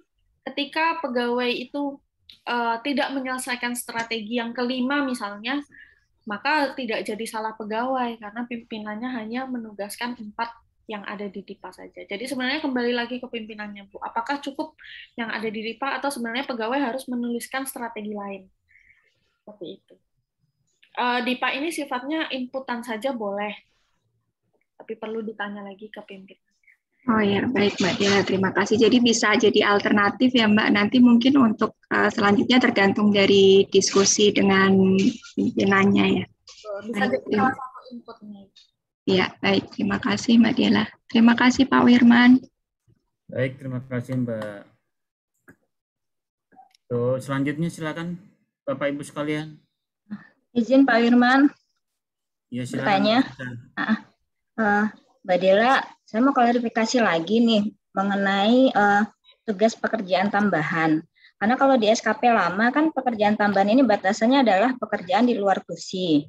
Jadi uh, apabila kita mengerjakan pekerjaan di luar kita, lalu ada bukti SK dan surat tugasnya itu menjadi pekerjaan tambahan. Nah kalau sekarang kan kita ada dari matrik peran hasil kan ada tim kerja biasanya ada ada uh, ketuanya atau anggotanya siapa. Nah, setelah dibagi-bagi kadang itu kan masuk di pekerjaan orang yang memang uh, kalau misalnya di subkoordinatornya itu pekerjaannya tusi, di luarnya enggak gitu. Nah, jadi batasan pekerjaan tambahan ini seperti apa sebenarnya, Mbak? Uh, ini maksudnya kinerja tambahan yang ya. koordinator itu ya, Bu ya? Enggak, enggak hanya koordinator. Jadi pekerjaannya kita itu kan uh, apalagi kalau kita di UPT kan pekerja, uh, pegawainya sedikit ya Mbak. Jadi biasanya ada pekerjaan yang double-double di luar tusinya dikerjakan oleh orang tersebut. Di SKP-nya jadi pekerjaan tambahan. Nah kalau sekarang di SKP yang baru ini jadinya seperti apa yang pekerjaan tambahan itu apa gitu? Ya, jadi eh, kalau melihat secara definisinya masih sama ya Ibu ya, masih sama. Jadi kinerja tambahan di PP 30 pun eh, definisinya adalah kinerja yang di luar tugas pokok jabatannya eh, dan disetujui pimpinan. Jadi meskipun hasil pemetaan dari matriks peran hasil kalau ternyata ketika kita melihat tusinya ternyata tidak terkait, maka itu tetap masuk ke kinerja tambahan seperti itu, Bu. Tapi bedanya uh, ketika di penilaian. Jadi kinerja tambahan ini bukan bagian dari uh, kinerja utama. Maksudnya gini, jadi kinerja tambahan ini sifatnya adalah menambah nilai. Jadi ketika dari kinerja utama bobotnya 100 ya Bapak Ibu ya. Dari kinerja utama nilai yang uh, diperoleh Bapak Ibu bisa maksimal 120. Tapi katakanlah Bapak Ibu hanya mendapat nilai 95 misalnya dari kinerja utama, dari penyelesaian kinerja utama. Nah, dengan adanya kinerja tambahan, ini bisa menambah poin. Menambah poinnya jadi eh, misalnya 10, maka mendapatkan 105 seperti itu. Jadi maksimal kinerja tambahan sebanyak-banyaknya kinerja tambahan yang diakui nilainya hanya 10, Ibu. Jadi perlu dicek lagi sebenarnya ketika seorang pegawai mendapatkan banyak kinerja tambahan bahkan lebih banyak dari kinerja utamanya ini sebenarnya kita harus melihat lagi peta jabatannya mungkin kita harus mereview lagi uh, peta jabatannya. Ada mungkin ada yang salah sebenarnya perlu ditambahkan jabatan lain atau sebenarnya pegawai ini jabatannya bukan di situ. Uh, jabatan pegawai yang cocok ini bukan di unit itu atau di unit lain misalnya. Seperti itu. Jadi uh, sebenarnya dari matriks peran hasil itu kita bisa melihat Ibu, melihat apakah peta jabatan yang ini masih relevan atau tidak, atau sebenarnya kita membutuhkan peran lain, peran pegawai lain, atau seharusnya kita sendiri di jabatan ini tidak cocok ternyata. Maksudnya jabatan di unit itu tidak cocok. Nah, perlu di perlu dilihat lagi. Nah, sebenarnya begini, Ibu. Dengan konsep yang sekarang ke depan JF ini bisa cair. Jadi eh, Ibu bisa mengikutkan di luar unit Ibu sebenarnya. Jadi uh, tidak hanya terbatas dengan pegawai yang ada di unit ibu, tapi bisa melibatkan pegawai dari unit lain yang mungkin jabatannya lebih cocok untuk mengerjakan yang tadinya ada sebagai tugas tambahan ibu. Seperti itu. Jadi matriks peran hasil itu tidak terbatas pegawai-pegawai yang ada di unit itu saja ya Bapak Ibu, boleh mengikutkan pegawai yang uh, sebenarnya tidak ada di unit itu tapi mengambil dari unit lain. Seperti itu. Apakah oh, terjawab, ya. Bu Susan? Uh, terjawab ya. Makasih Mbak Dela. Ya, silakan teman-teman yang lain ada yang ingin bertanya silakan. Izin Pak Wirman. Mau silakan Sofian. Baik, eh, terima kasih Pak Wirman atas kesempatannya. Mohon izin Pak Dela eh, mau sedikit bertanya nih. Eh, dalam kita menyusun sasaran kinerja pegawai tentunya idealnya uh, anggaran ini kan menjadi penting uh, karena uh, IKU ataupun uh, kinerja organisasi juga didukung oleh anggaran. Tentunya di dalam membuat uh, sasaran ataupun uh, kinerja kan pasti ada beberapa aspek pertimbangan dari mulai kualitas, uh, biaya dan mungkin tadi waktu ya ada empat kalau saya nggak salah. Nah tentunya kan di dalam membuat dari sebuah rencana kinerja, nah pasti tidak semuanya ini eh, bisa diakomodir dari sisi anggaran. Karena anggaran ini sangat dinamis ya. Tentunya eh, kita kan memang JF ini harus eh, bekerja keras gitu ketika tidak ada support anggaran. Tentunya di dalam penilaian nantinya kan pimpinan akan menilai kita ketika output kita itu atau indikator kita itu tidak tercapai karena ada satu aspek yang tidak mendapat dukungan dari sisi anggaran, ah, ini seperti apa nanti penilaiannya gitu. Karena ini akan berimplikasi gitu. Suatu kinerja tanpa ada ukuran ataupun support anggaran pasti berimplikasi pada output yang akan dihasilkan. Mungkin itu Mbak Dela pertanyaan saya. Baik, jadi terkait aspek ini ya Bapak ya, keempat aspek ini ya Pak ya, kuantitas, kualitas, waktu, biaya. Ini tidak harus betul, betul. ada Bapak tergantung kebutuhan pimpinan untuk uh, pengennya seberapa baik sih ini dihasilkan seberapa cepat Kalau memang uh, dibutuhkan indikator biaya, maka bisa dituliskan biaya. Tapi kalau ternyata memang tidak dibutuhkan, tidak signifikan, tidak signifikan ukuran biaya, maka tidak perlu dituliskan. Seperti itu. Tadi penekanannya adalah uh, karena dulu kita masih orientasinya adalah jumlah dokumen 400 dokumen seperti itu ya Pak ya dari sisi kualitas waktu biaya malah justru tidak terlihat penekanannya adalah sekarang kita tidak hanya ke kuantitasnya saja tapi dari sisi kualitas dan waktu khususnya untuk JF Bapak Nah, biaya ini mungkin uh, lebih tepatnya bagi uh, pejabat atau jabatan-jabatan uh, yang masih diberikan kuasa penggunaan anggaran. Ada tanggung jawab anggaran di sana. Jadi kalaupun Bapak JF uh, eh, tidak memasukkan indikator biaya juga tidak apa. Oke, terima kasih Mbak. Baik, silakan yang lain. Ada pertanyaan? Izin bertanya lagi Pak Wirman. Uh, ya. Iya, silakan.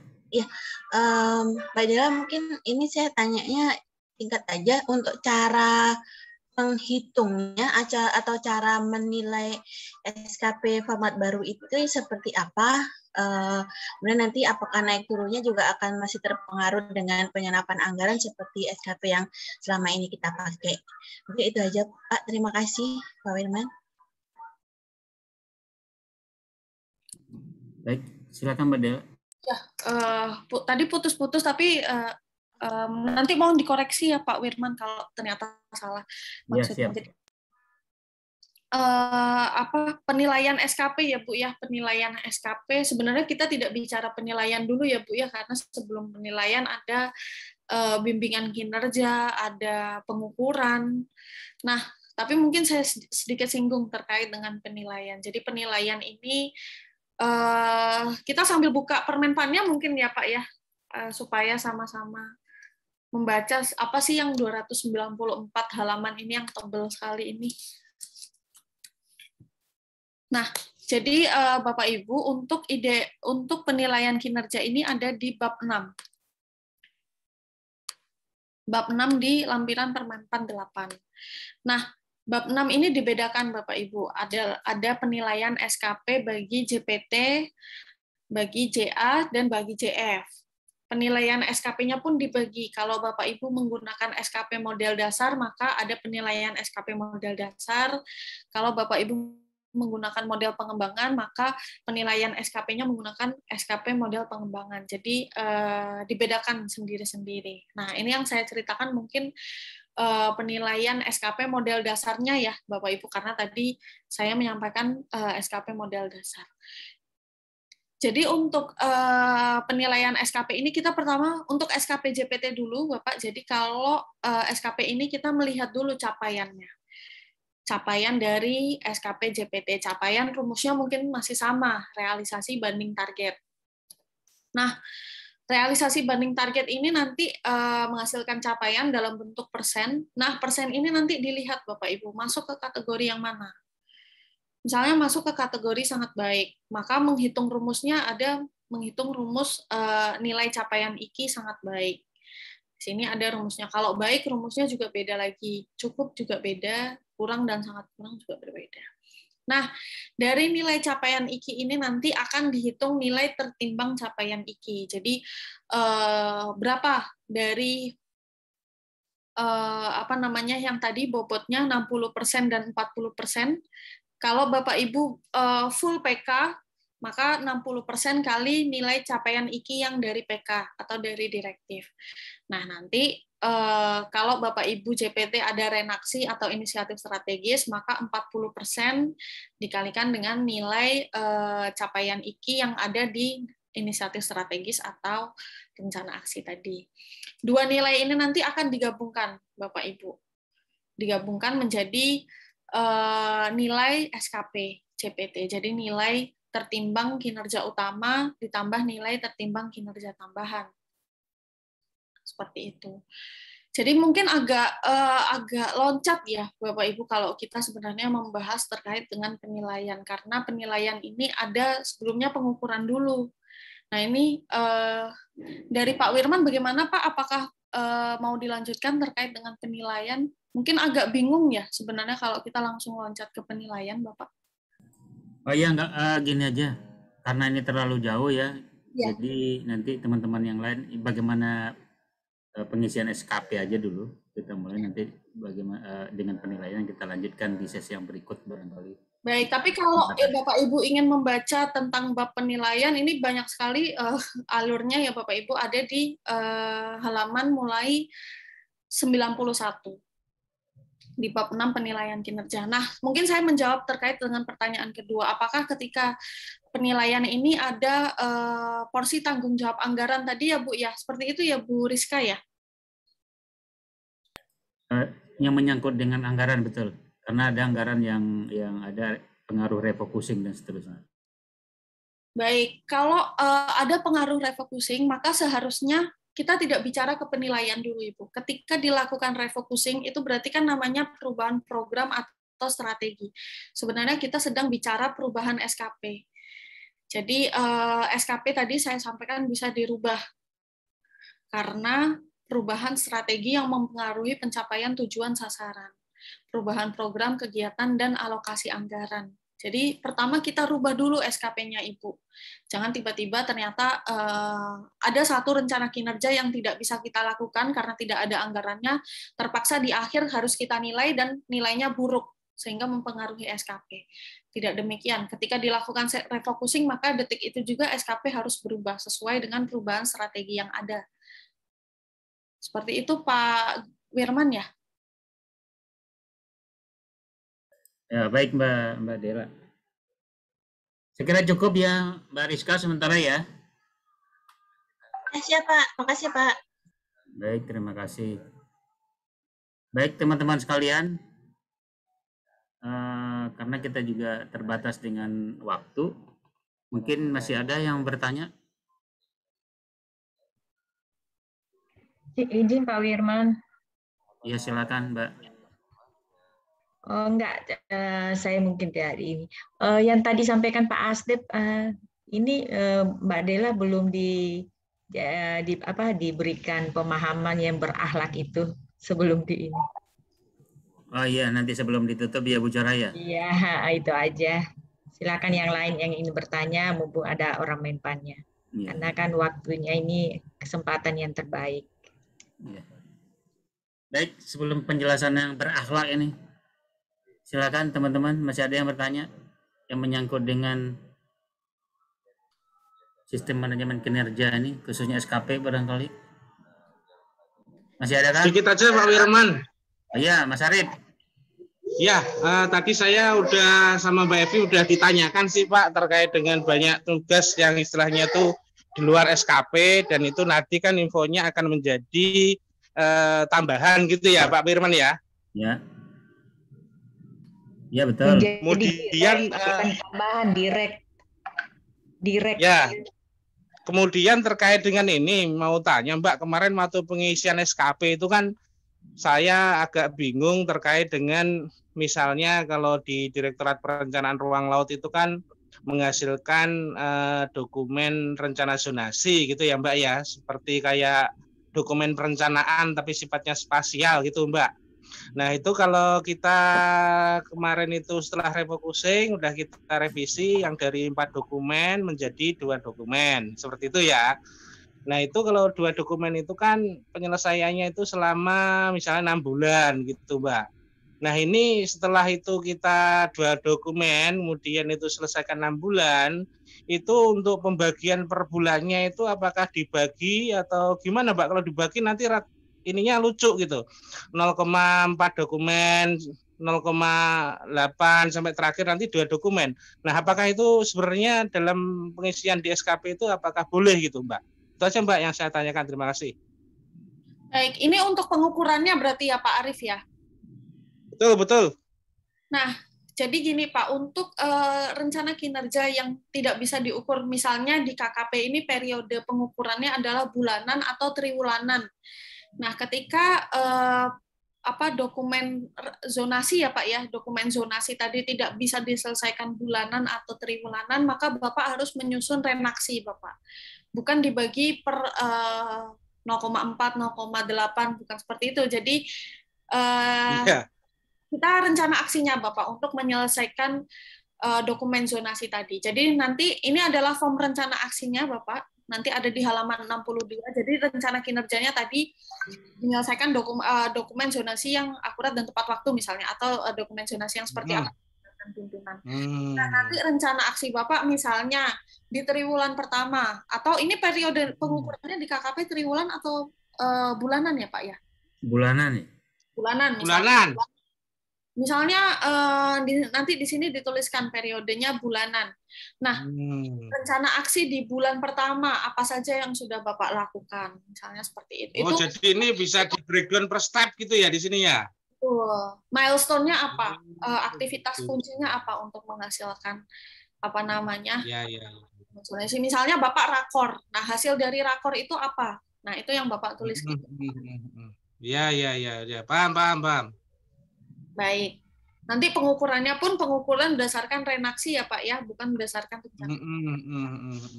Siap, siap. Jadi ini bukan eh, apa itu kan di kolom-kolom selama enam bulan itu kan ada hitungan angka itu ya. Tapi kalau dengan model ini nanti per step atau per tahapan di breakdown gitu ya Mbak ya?